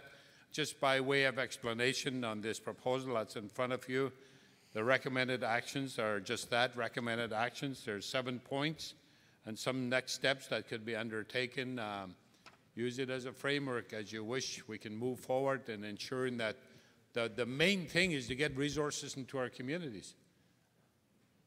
That, that was key this summer. Thank you. Thank you. Microphone number four, please. Just quickly wanted to add, um, you know, I think it's time that First Nations Council British Columbia, we establish our own emergency response teams, organizations. I think EMBC and Red Cross, I think we're very thankful for the work that they've done, are doing um, throughout the summer and as we continue to move forward and a lot of good people, but you know, we're First Nation people and we, we take pride in the fact that we want our own organizations and I think we have the capacity. I believe in our people and I think, you know, it's time we set that up and instead of offloading everything to, to other organizations, It's time we step up, step up to that plate, take ownership. This, this is self-government. We have to move in this area. So I'm 100% there in my community. We're going to be pushing for, for fire center, evacuation center, fire training. Evacu- tho- these are all things we need. So, you know, um, um, I, I strongly encourage that. Um, my last comment, I want to congratulate everybody that got elected in. And if we got 70, 70 chiefs on one side, 70 chiefs on the other, there's a tie. I say we settle it traditional way, game of Lahal right in the middle of that floor. Yeah. Wish, wish, wish either one of the chiefs um, good luck. Thank you. So uh, let's show some appreciation to our panel and each and every one of you for this very important discussion. I regret we did not have more time to dedicate it. I did bump things around, and I really want to thank Fisheries for allowing me to bump them to this afternoon. Um, for our panels, I do have a token of appreciation for each and every one of you. I just ask you to come this way.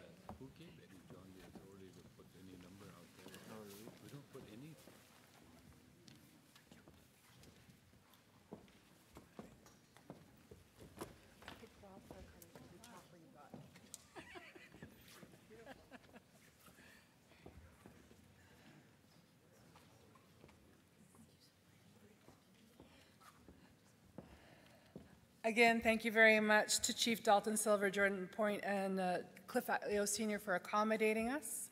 Uh, I do realize we are a little bit, uh, we're just bumping everything and rearranging everything. We have election, a second ballot to go to. We're, we're going to get back to you in just a little bit right after our next presenter on how that's going to roll out exactly. We'll have the electoral officer come and speak with you about that. But right now, and I want to thank her for being on time and in the House, it is my pleasure to welcome to the podium Honorable Jody Wilson-Raybould, the Minister of Justice and Attorney General of Canada, to address you.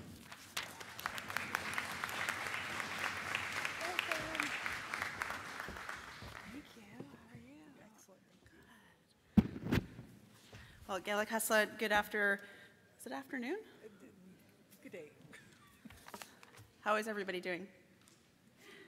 Uh, first of all, I, I just want to acknowledge all of the elders, the matriarchs, the chiefs, the hereditary chiefs, uh, ladies and gentlemen, young people that are here.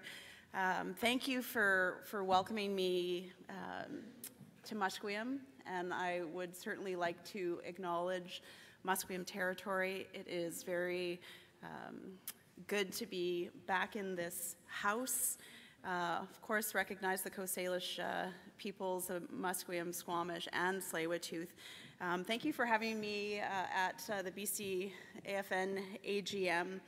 And uh, like many of you, this is not the first time that I've had the opportunity to participate at the BCFN and to engage in, in discussions with all of you. Um, I guess just in, in reflection to start off, um, I know that there's an election going on, and um, I hear that it was tied 70 70. And Roshan told me to joke around and say that I'm here to cast the deciding vote on the election. But anyway, I do want to say that um, this is really important, and I'm very glad to see so many of you that are here. Um, I want to acknowledge uh, Chief Maureen Chapman and Terry Teegee uh, for putting your names forward for uh, what I uh, feel is an incredibly important position uh, uh, for British Columbia Indigenous peoples as we move forward in terms of recognition of rights and um, harnessing the transformative period of time that we're in. It certainly was um, a true honor for me to be the regional chief for a couple of terms, and what I learned from all of the leaders uh, sitting around this table uh, was the determination, the resilience that uh, Indigenous peoples in British Columbia have, and um, the solutions that we have here in British Columbia that we advanced in terms of uh, the province, in terms of the federal government, and it's that knowledge and, and those teachings that I gained from each and every one of you that I take with me uh, in my life, but certainly also um, foundational to my work as the Minister of Justice and the Attorney General of Canada. So again, let me uh, just say congratulations to, I understand, the new BCFN Board of Directors, and I imagine you're going to go into another round of voting, so you really probably don't want to listen to me talk for too long. But I'm really pleased to be here to give a bit of an update as to what we are doing as a federal government, and certainly feel like this is somewhat of a homecoming for me coming back here to listen to some of the discussions around the, the fires and listening to Chief Joe Alphonse. Um, but to talk to you um, and to hear from you, hopefully, about the tremendous work that's happening in British Columbia, the tremendous work that's happening across the country in, as I said, what is a truly a period of transition. And I know that many people, including myself, are calling it an era of recognition. And that's what I want to talk to you about today rights recognition and nation rebuilding and it won't sound too unfamiliar to you as I think the same messages I delivered when I was standing before you as regional chief. But I'm now standing before you as a minister of the crown and obviously a proud Kwakwaka'wakw woman. Um, and the perspectives and thoughts um, that uh, I have in both those capacities, I feel are in full alignment with the work, the ongoing work that uh, each and every one of you are doing in your communities so just in terms of um, um, the messages um, that have been delivered, that I've delivered, that many of you have delivered in this room, um, uh, across the country, um, is that we're in a period where we must ensure that we overcome the colonial reality. The Crown must recognize and implement the title and rights of Indigenous peoples and that absent recognition, true reconciliation will not emerge. Today, as a minister of the Crown, I deliver this identical message that I've heard from many of you. Colonialism cannot be stemmed and ultimately overcome without recognition and implementation of the inherent rights of Indigenous peoples.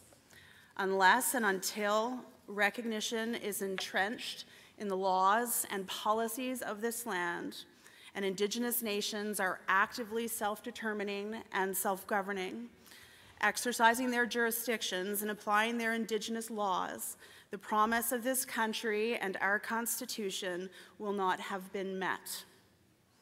Let me be clear.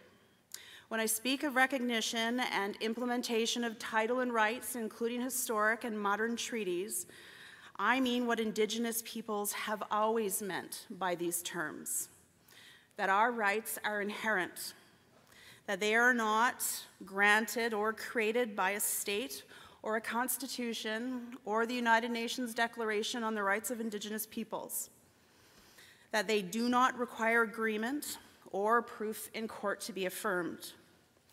They are grounded in the reality that Indigenous peoples had systems of governments and laws and owned and used the lands which now make up Canada prior to the arrival of Europeans.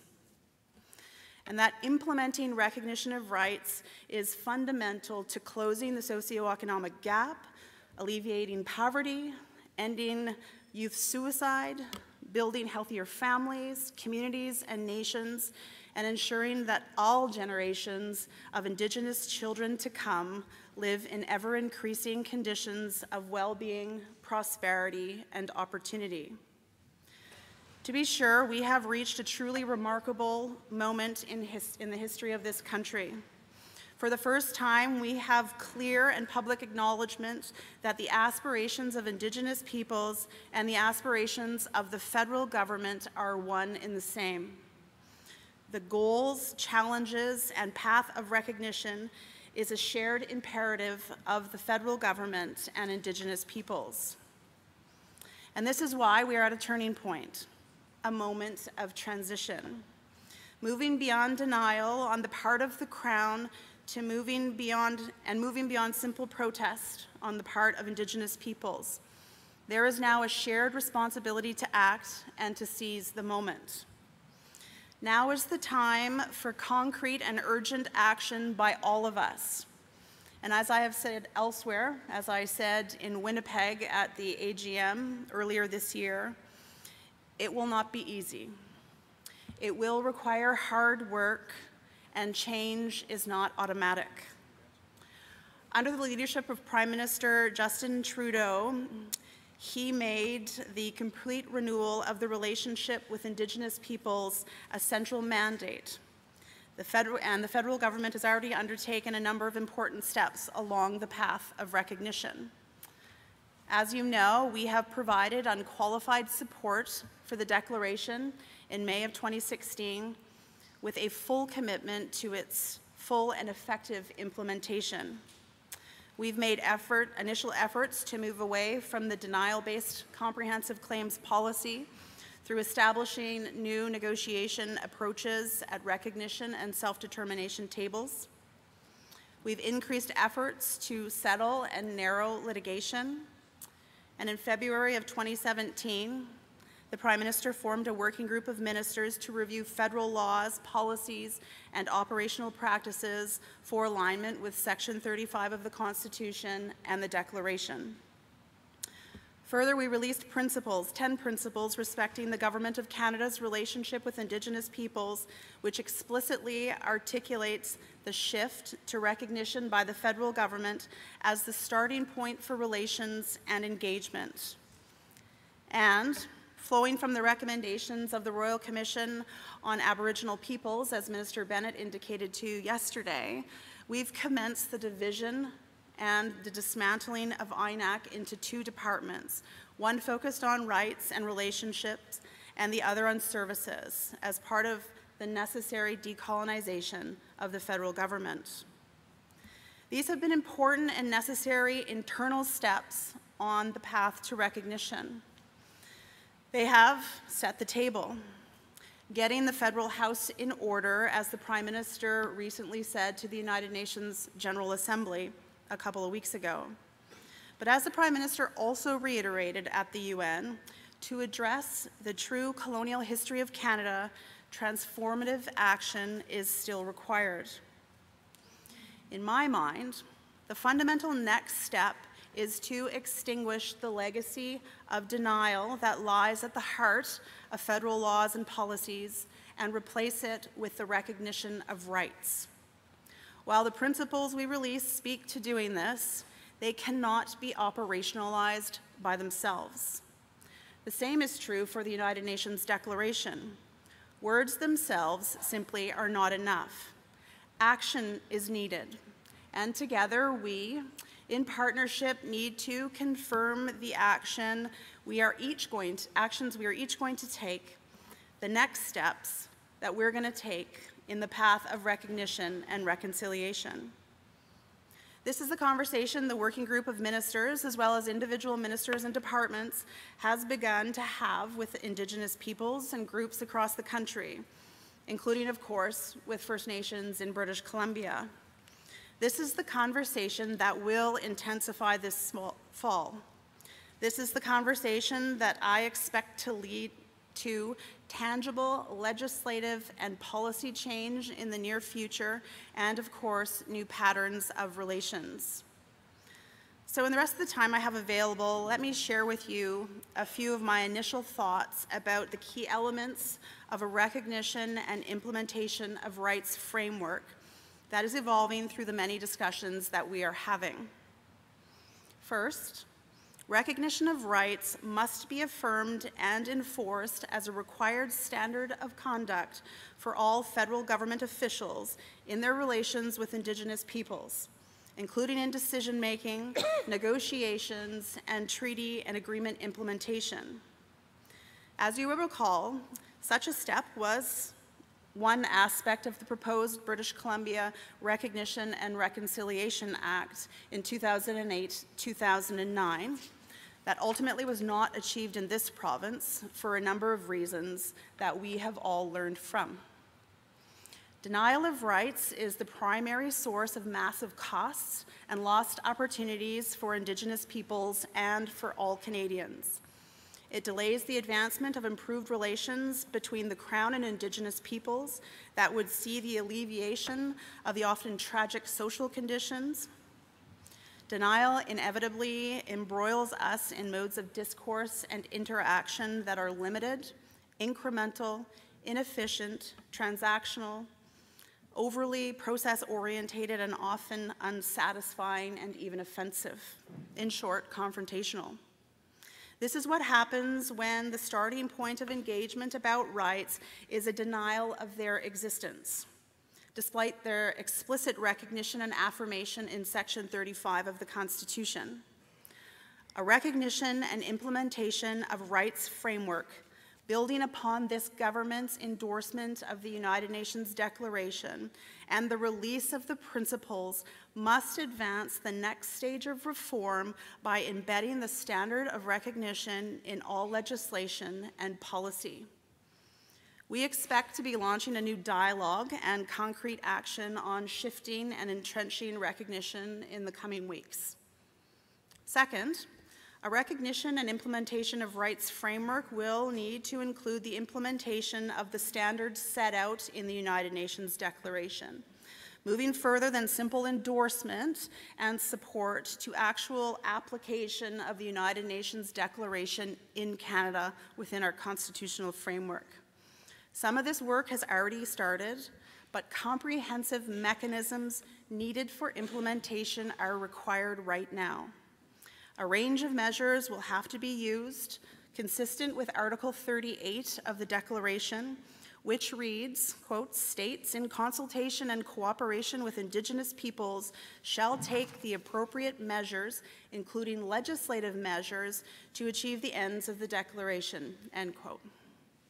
Third, a recognition and implementation of rights framework will need to contain mechanisms and measures to support nation rebuilding and to facilitate self-determination, including self-government by Indigenous peoples, including transition out from under the constraints and impositions of the Indian Act. This, of course, is where there lies significant work that must be done directly by each of you as Indigenous peoples.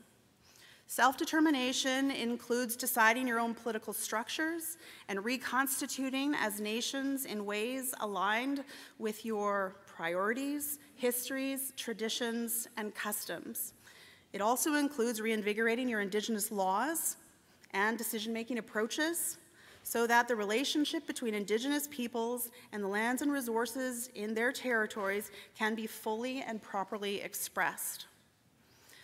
And I know for a fact that nation rebuilding is not going to work and the federal government, if the federal government is tasked of doing it for you, the federal government cannot do it for you. Indeed, the Crown thinking it knows what's best is what led to the imposition of colonial structures of the Indian Act in the first place, structures that First Nations must now themselves overcome. Canada has many responsibilities and duties in the transition, but for this to happen, Indigenous nations need to work internally and need to work together. It is only our peoples that can reconstitute and self-determine the path forward. Moving beyond the rhetoric and stated as simply as I can, Canada needs to know who and what is recognized. On the path to self-determination, there will necessarily need to be incremental steps to dealing with dismantling the colonial legacy. Further, I know well that different nations are on distinct paths and in various stages of advancing this work. But for all nations, it requires asking and answering hard questions, such as, again, who will you choose or how will you choose to organize as proper title and rights holders? What structures and purposes or processes of self-government will you build? What mechanisms will you use to express and articulate your Indigenous laws? How will you ensure your citizens are supportive and informed of the work of reconstitution and rebuilding your governments? This is the work that I know the nations in British Columbia are ready for and can lead. Of course, Canada does also have a role to play in this work. Canada is not a passive bystander waiting for all nations to somehow reconstitute in the wake of colonialism or that there is a one-size-fits-all post-colonial door to walk through. No, when a nation determines and brings its framework or its proposal, if you like, for self-government forward, it is the role of Canada to help facilitate that transition. This includes providing support for communities individually and as part of nations to rebuild and ensuring the space for the operation of Indigenous jurisdiction and law. Canada must ensure that areas of co decision making and lawmaking are clear and that there is a fiscal relationship that is designed to properly support the operation of Indigenous government. Canada also has a role to play in supporting the institutions that Indigenous peoples have created or may wish to create to support the work of transition to self-government. These are the institutions that support nation rebuilding and that can transcend a particular nation or group or will ultimately enable services to be delivered directly by Indigenous governments under their own laws and authorities. That will enable the removal of federal departments from such a role. Institutions like FNESC, like the Health Authority, FMB, the FNTC, the FNFA, and so on. Fourth, a recognition and implementation of, implementation of rights framework must accelerate the shift from patterns of conflict to those of deep and constructive collaboration and cooperation. While the courts have played a pivotal role over the past many decades in forcing advancement and consideration of Indigenous rights, adversarial court processes are not designed to effect transformation in the relations we all want. They will not build new political, social, and economic arrangements or remove the legacy of denial from federal laws and policies. Nor can courts reconstitute Indigenous nations or rebuild Indigenous governments. As Attorney General of Canada, I will continue to take steps to move cases out of court, including in the next little while issuing a directive on litigation involving Indigenous peoples. We both need to do work in this regard, and I look forward to doing this together. And finally, moving from conflict to collaboration also requires a climate where we can build trust. This is something which, for good reason, has always been in short supply in Indigenous Crown relations. To build trust, we need to foster a climate of accountability where actions meet words. Being accountable means being transparent, we will have to be clear with everyone how historic and modern treaties are being implemented.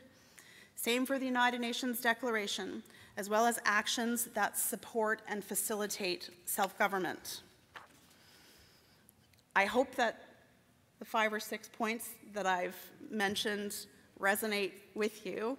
Um, I hope that I have been somewhat clear about my intentions and the opportunities, although there's challenges with those opportunities, that is presented in this time in our history to the chiefs of British Columbia and the leaders of British Columbia.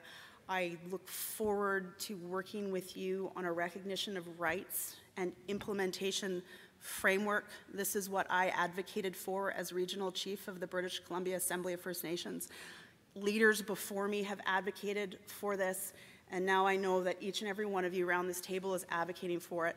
This is the time for us to take advantage of this opportunity. Um, I don't know when it's going to come along again, but I invite you to um, be involved, to assist in your community rebuilding and ensure that um, beyond the life of this government, which is going to be a really long life, that we have a framework that ensures the recognition of rights-based approach in legislation. I look forward to doing the work with you. Um, Hustla, thank you for having me, and I'm going to go vote. Just kidding. thank you. Um, sure. What time is it? Sorry? So, thank you. I was just checking in to make sure uh, I had already had some nods here and there for some questions. I will continue to add to the list, but also understanding, uh, I don't know what the time limit is, but I will go first to microphone number 23, then 17, then 9, and then 16. That's what I have on my list so far. Uh, then 22. Uh, thank you, Madam Chair. Puglis, always good to see you. And just want to thank you so very much for all the work that you're doing. Um, it's incredibly important, and the opportunity that you speak of with this government, I know that you're a very key and foundational voice within there to push this ahead, and for us to respond to the wake-up call, to respond to the opportunity and do the work that we need to. Um, the one thing that I'm I'm curious of is when there's reference to the number of First Nations or nations that are identified in the Royal Commission on Aboriginal People, and it's a rather small number. And I know the discussion here in British Columbia about what constitutes a nation is, is varied across the province. And so my, my question is, uh, within, like when the government considers those nations identified within, the, within RCAP, are we to consider then the Kwakwaka'wakw Nation as the vessel to advance? Because I've stated this before, um, as you know, a representative of the Kwikwasut'inuxw and the Haxwa'mis peoples of the Musgamagw Dzawada'enuxw, we have a whole host of origin stories within the Kwikwasut'inuxw and the Haxwa'mis. And so we quite clearly view ourselves as a nation based upon the title stories and the territories. And so when I heard about the RCAP numbers, I was kind of wondering, well, if we're to pursue this, is this anticipated as the Kwakwaka'wakw Nation advancing collectively, or is there space for a collective like the Musgamagw Dzawada'enuxw people, a collective of four nations which are recognized culturally within the Kwakwaka'wakw people? And keep up the good work. Thank you. I can go up there if you want to take, is there other questions? There are other questions. I have to be. Okay. Did you want all of them? Sure. Okay. So uh, we're going to go, she's made notes on that question. We're going to go to microphone number 17, please. Thank you, Madam Chair. Chief Wilf Adam, Lake Babine. Nice to see you, Jody. It must, must be really hard, you know, enforcing the laws of uh, this land and being First Nations. But sometimes it must be really good to do that. Uh, I'm part of the uh, table, the champions table by, by this group, the uh, BC AFN. And there was a paper that was done by Geoff Plant.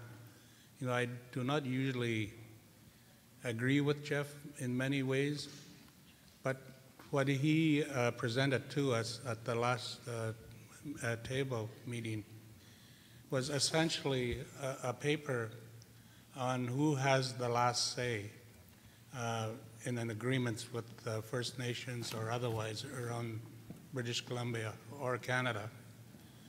And his proposal is to do away with the governments having the last say in any agreements. I just want to see what your thoughts on that is.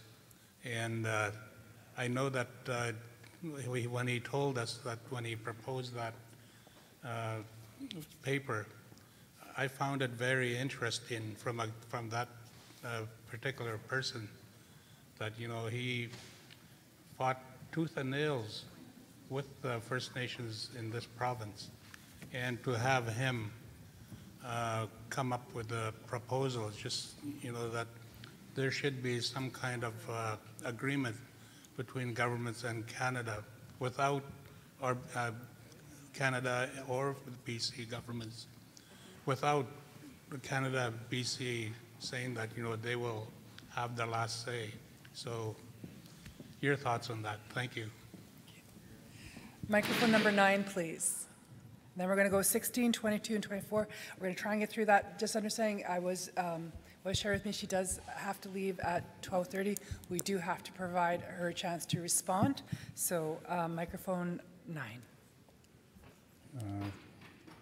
Kukshem, uh, Madam Chair, uh, Honorable Minister. It's, uh, you know, as listening to you speak and understanding our long history with Canada, 150 years of uh, legal genocide, the laws that have been used against us, you know, we can start to listen them all off in terms of how they banned the potlatch. We can go on into all of that. But what I hear you saying, and what I think is really important, there's an opportunity with this government to turn that page. And the father of this prime minister, uh, Pierre Elliott Trudeau, when we were fighting the constitutional battle, at one point, uh, because of the Supreme Court decision uh, that was done with the Nisga'a, he actually said that, yeah, you maybe you do have rights. And then he proceeded to try to patriate the Constitution. And we fought really hard in that patriation battle to ensure that Section 35, or the recognition of Indian nations, was a part of the fabric of Canada. We fought really hard.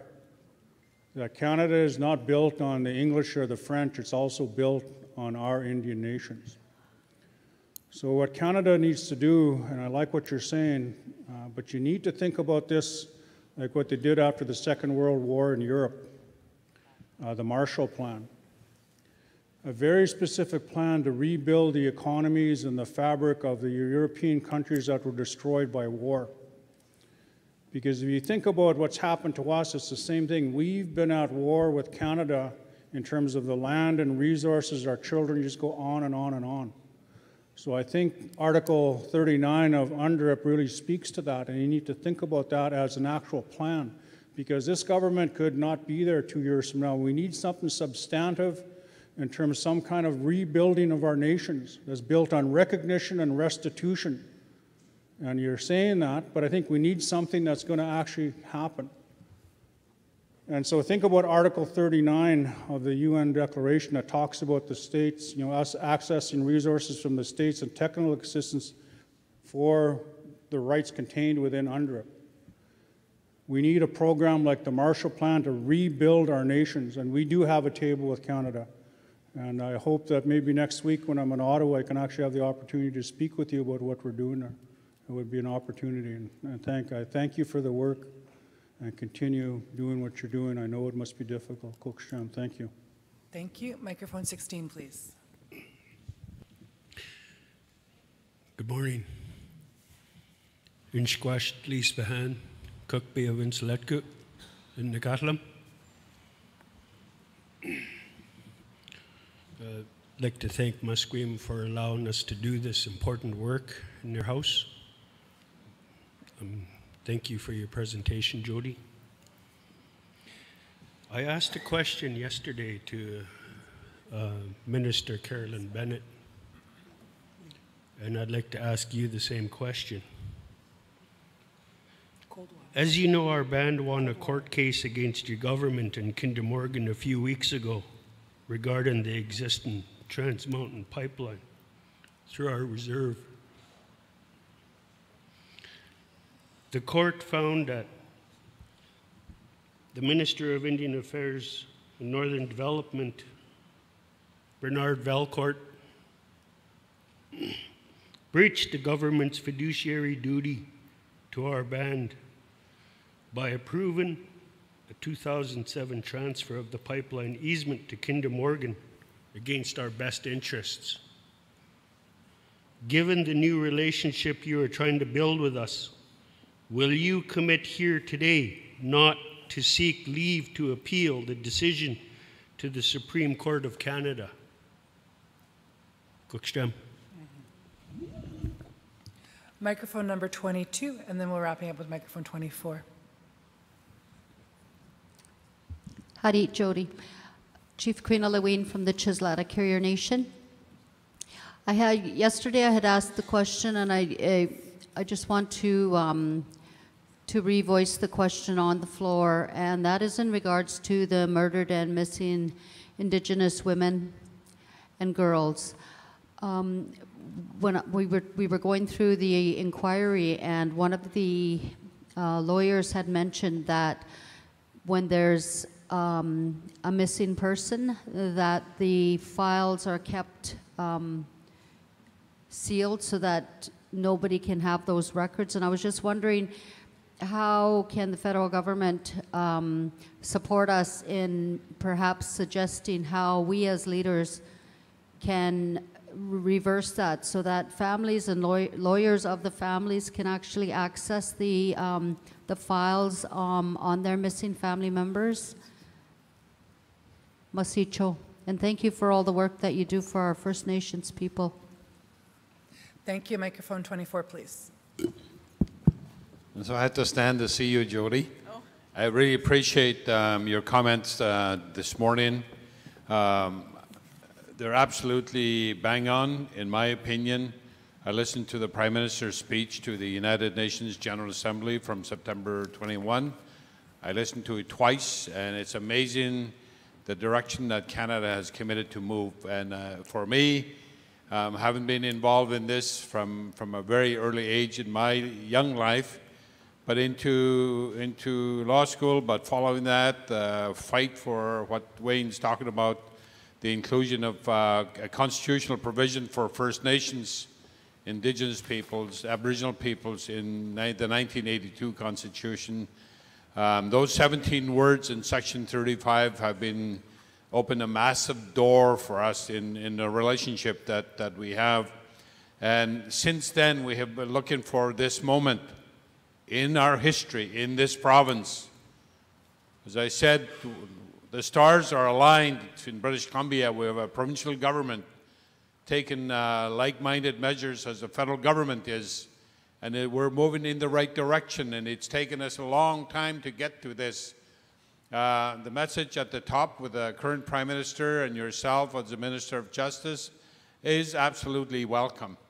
We need to see that translated into ensuring that uh, officials that we have to deal with in the region, for, for example, at some of the negotiating tables, they don't want to use the words, say, reference to the UN Declaration or reference parts of articles of the Declaration in memorandums or anything like that. It's ridiculous, but uh, they, they need to get, somebody needs to send a message down to them and say, look, that time of denial is over. The recognition that we're talking about, these provisions should be built into some of these agreements that are now being discussed and negotiated. And, and if those people downtown at Indian Affairs or FTNO um, are not in the loop, they need to be. And if they refuse to do it, they should all be fired. I mean, that's, that's my humble opinion as I like to express it. So today, um, I stand in, in recognition and in honor of the work that you have done as a, as a regional chief, but now as a Minister of Justice and the Attorney General in, the, in, in turning the federal government's position around to something that now is closely aligned to where we have been uh, stating for so long in this country. And, and I think we owe you a debt of gratitude for making that happen. Thank you. Thank you very much for all the questions. Thank you to uh, our Honorable Jody Wilson-Raybould for accommodating us. I invite her back to the podium to now respond. Well, thank you for, um, thank you for all the comments and the questions, and uh, answering them certainly would require, fulsomely, would require more than um, the time I have between now and, and my expiry date of 12:30. Um, But, I- I mean, just to touch on, on each of them briefly, and there's some commonality or threads that run through the questions. To um, Chief Chamberlin, to your comments about RCAP, um, the 60 to 80 nations that was mentioned in the body, I would encourage everybody to read RCAP. Um, but um, to answer your questions or perhaps provide you with some, some solace, um, the Government of Canada is not going to determine who the nation is. Um, it's up to Indigenous peoples, communities, nations to determine that for themselves. I mean, certainly we're going to have to have conversations about it, but uh, um, as I said in my remarks, I'm looking forward to hearing from, from you about substantive plans, solutions, um, how you want to organize. It may or may not be organized on traditional nation um, linguistic divides. Um, but uh, again, this is, uh, we're looking to you to determine who you are. Um, tell us who you are.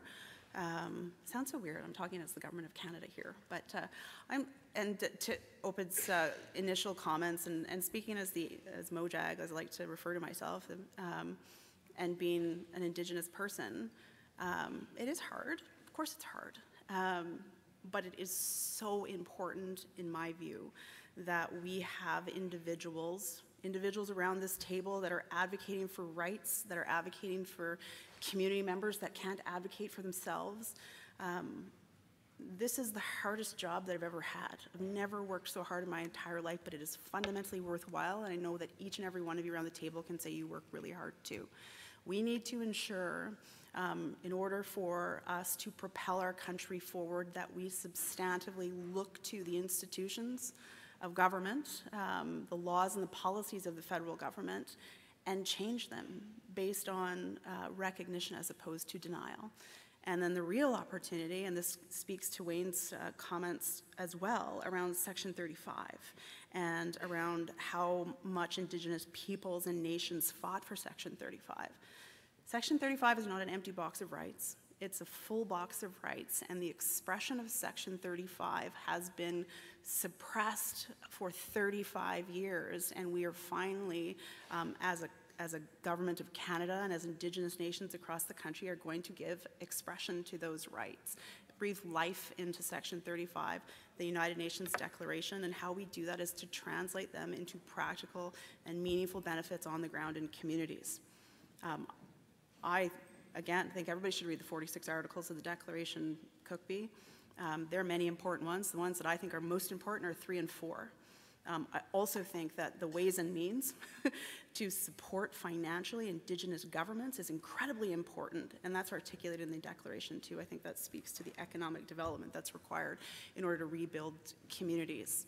Um, who has the last say? Uh, I like to move away from who has the last say to look at building or working towards consent-based decision-making, moving away from confrontation and being adversarial, but actually having meaningful discussions about territories with Indigenous communities, with um, all jurisdictions. I fundamentally believe in um, the evolving nature of cooperative federalism, and that includes the federal government, provincial governments, underneath provincial governments, municipal governments, but it equally includes indigenous governments in this evolving nature of our federation that is going to transform it for the better. Um, with respect, um, Lee, I, I hear you on Coldwater. Um, uh, as the Attorney General, I hope you can respect that I'm not going to speak on that in front of this. I know that we'll have um, additional conversations, and I'm happy um, to do that um, either myself or through my, uh, my officials. So thank you for raising that with me. In terms of murdered and missing um, women uh, and getting access to files, um, I know that and recognize that the, the inquiry has had some challenges lately, that there have been some concerns. One of the things, and you know, I'm one of three ministers that's responsible for the inquiry, uh, but we do work across government, and we want to make sure that the inquiry um, achieves its objectives. And one of the main objectives of the inquiry is to ensure justice for the families, justice for the murdered and, and missing Indigenous women and girls. And if there and part of that is to look at the systemic barriers, to look at um, institutions, look at the police, look at files. Um, this was something that was thought about in terms of the drafting of the terms of reference for the murder and missing uh, inquiry. And um, I'm happy to go back and see um, the, the, inquiry is arm's length, so um, I can't go to them all the time, but um, I'm sure that this is something that you advocated for and brought to the, the commissioners, but I'm happy to follow up with you on this specific question. Um, and then um, just in closing to you, Ed, thank you for your, your comments and of course for your ongoing advocacy on um, the UN declaration and expressing the moment in time that we're in. And um, I think it's really cool that you guys are in an election that you, I mean, in spite of the two candidates that tied, it means that people are like um, anxious and wanting to participate and lead the province. And BC is always extraordinary. We had a, prime, or premier that was called Amor de Cosmos. We had one that lived in Fantasy Gardens, or, um, but but I think for Indigenous peoples, like you said, Ed, um, we have there's a new provincial government, and I've had conversations with the premiers, have conversations with Scott Fraser, um, and the, the, Attorney General David Eby, and there is a lot of commonality in terms of the approaches that we're taking to rights recognition, and to um, be able to harness the opportunity that we have here. And whomever wins uh, in the election, I know that uh, the person that that comes second will certainly be advocating um, as strongly as if they were the regional chief. So Gilakas'la, thank you so much for, uh, for your attention, and I look forward to seeing you all again at the Fiscal Institutions meeting tomorrow, if anybody's here. Yeah. Thank you. Thank you. Wow, Beautiful, thank you. Indeed, uh, thank you for that plug. A continued dialogue on defining a new First Nations fiscal relationship with the Crown will be here tomorrow. It starts at 9 a.m. Uh, Leah George Wilson will be chairing that meeting, and it, there will be breakfast provided at 8:30. So just letting you know about that. Some business to look after.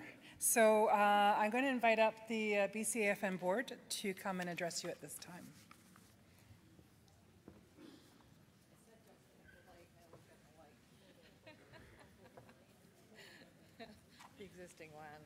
The new guys will be here soon. Uh, Good afternoon, everyone. We've had a couple of questions in regards to the tie that just happened. Some chiefs have asked if uh, we would be accepting additional proxies. And um, it was a bit of a debate. Unfortunately, we will have to follow our existing uh, bylaws. In section 26 on page 13, all of you have it in your kit.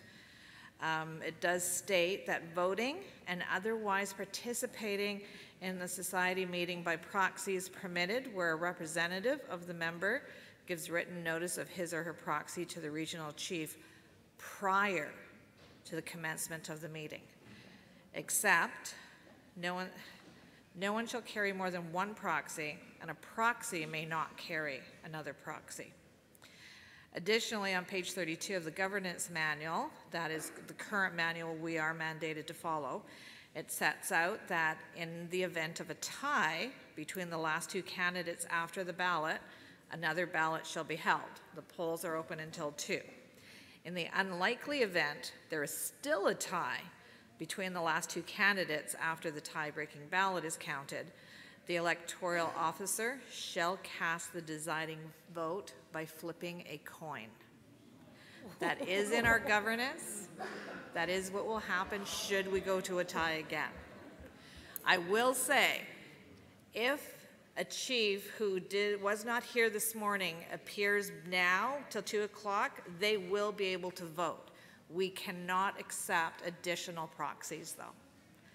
So everybody vote, please, and it's all in accordance to our bylaws and constitution. Question from,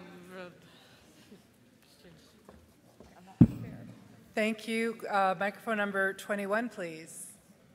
Um, So, section 26, voting, otherwise participating in a society meeting by proxy is permitted.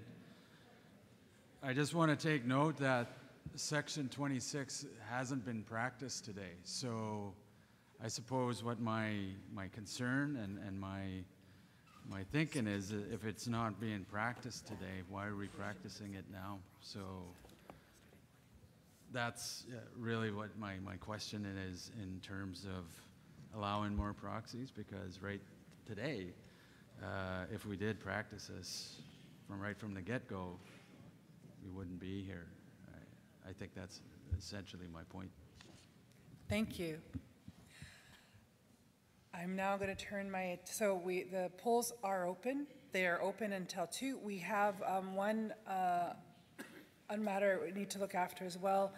Um, I've got very briefest amount of details whispered in my ear, so I'm going to hopefully be, uh, we'll all be filled in by Councillor Wendy Grant John, if she could please identify herself and come forward. I don't, oh, there she is.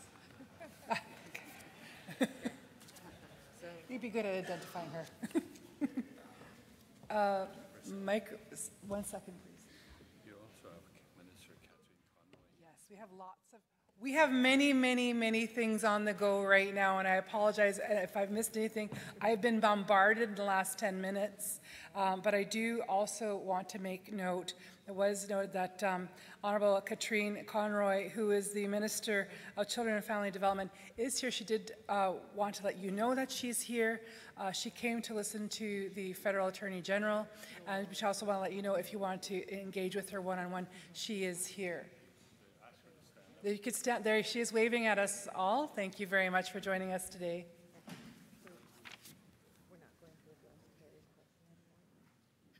Sorry, just one second. I was asked to bring you forward, and I don't know why. Maureen, Maureen, Maureen, can I please get your assistance? Um, I'm going to go back to the floor because I didn't mean to cut you off. I just was getting bombarded. 21, please. You had a question, sir? Not you, uh, the Tribal Chair, but the fellow next to you.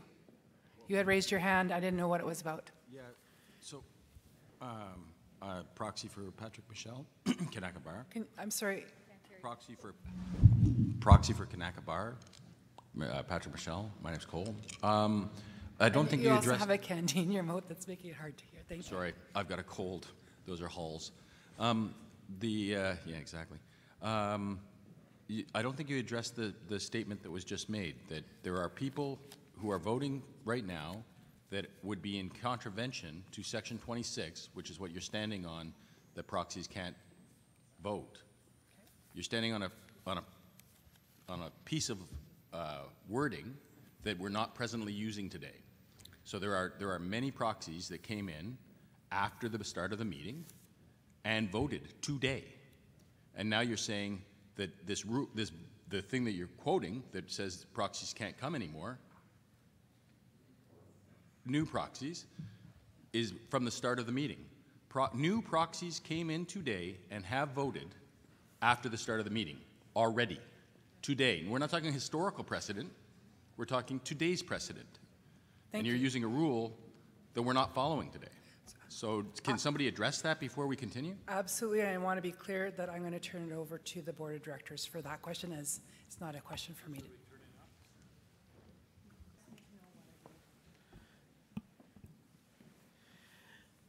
Uh, Good afternoon. So uh, the question on the floor is why are we accepting, or why is the uh, electoral officer accepting uh, new proxies when the uh, governance bylaw uh, outlines that the cutoff is at uh, prior to the meeting? So we had talked to the candidates um, and heard their thoughts. We also uh, sought some legal counsel for um, for this question.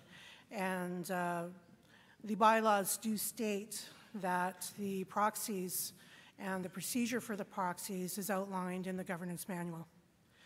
So whether or not we're going to um, act outside of the manual and determine new procedures today is, is the question that's being asked. So uh, we are still as a board of directors, taking a look at that question, and we'll come back to the floor. But obviously, it's something that is very complex, and uh, we do need a, a bit of time to, to review that. Thank you. So I think we should go, go back to that.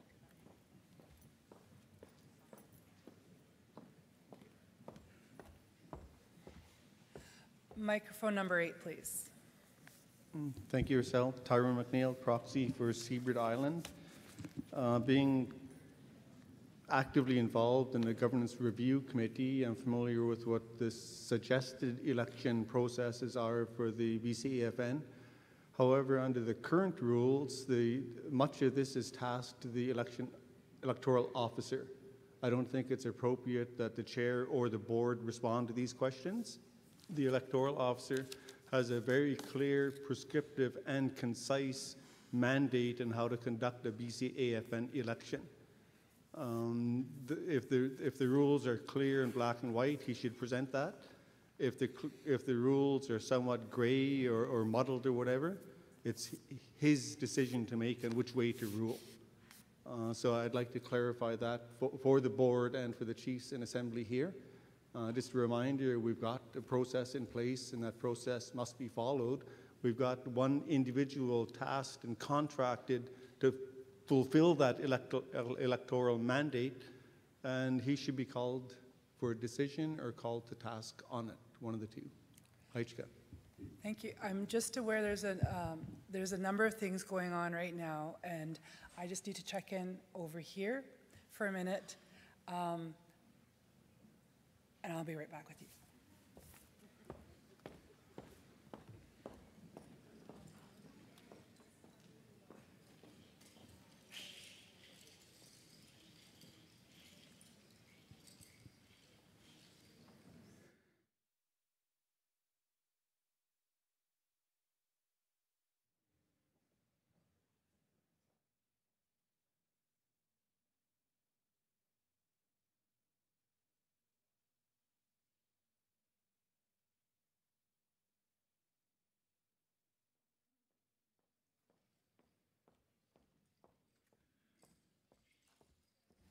So rather than have this be an electoral debate happening here right now, I'm going to defer it back to the electoral officer and, and, encourage those who need to speak with him to go there or the board. At this point in time, we do need to continue on. I understand what's going on uh, around questions around the election process and proxies. But right now, uh, we also need to get you fed and we uh, also need to continue on. Um, and we have bumped and bumped. Uh, some things are going to fall off this agenda. We understand that. I'm going to turn once more to the Board of Directors for a moment. And again, thank you for your cooperation.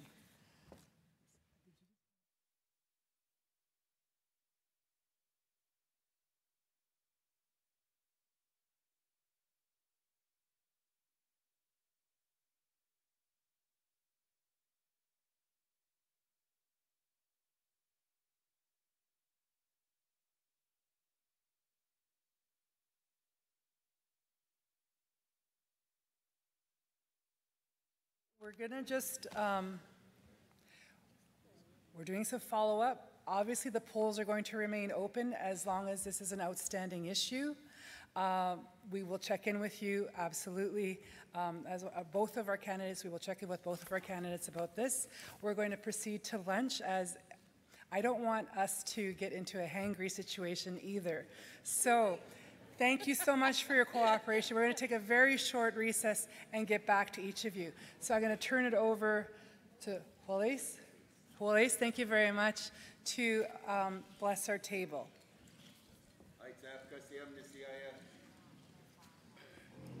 First of all, uh, won't take too much more of your lunchtime. Um, but uh, uh, before I carry on with uh, uh, the song, um, I was approached by my chief, Wayne Sparrow, on behalf of my relative, Allie. She was uh, in a, uh, her, her, she's had family members that were um, a bad incident in their home with a fire over in Nanaimo. Her half sister and her niece passed away from this fire. Her dad is from Campbell River, and because they resided outside of Campbell River, or sorry, Bella Bella, Bella Bella was not wasn't offering to help financially with the funeral costs, with everything, and also there's a, a there's two surviving sons, 15 and 17. So my chief asked AFN for a little bit of help and also thank AFN for ask, uh, uh, allowing us to take a few more moments. But at certain times like this, when our community, one of our community members has a loss of family, we put out a drum and ask for help, donations, to help for the surviving sons, to help with family to make their way to Bella Bella, to, to, to you know, for all the ex expenses of funerals and everything like that. So um, after, after I sing the table song, I'll, I'll place the drum out for a few moments and ask for uh, your help and donations to help my cousin out to make her way to her family and everything. So with that, I'll continue on with the table song and uh, thank you for your time. Heights Apkasiam, Heights Kasiam.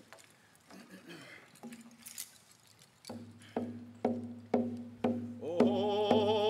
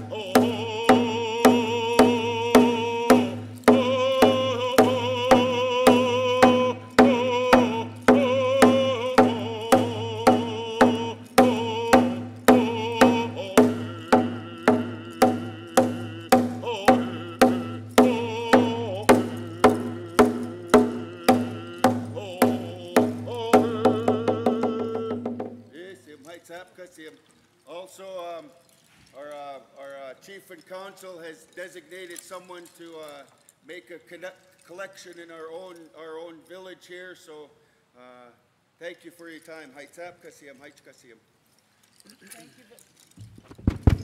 Thank you very much. We, uh, we're going to take a short recess. I ask you kindly assist by helping us reconvene at 1:30 uh, so that we can continue on. Uh, It's just a short recess, and we will reconvene at 1:30. So it's currently 12:48 according to my time. Thank you. I wasn't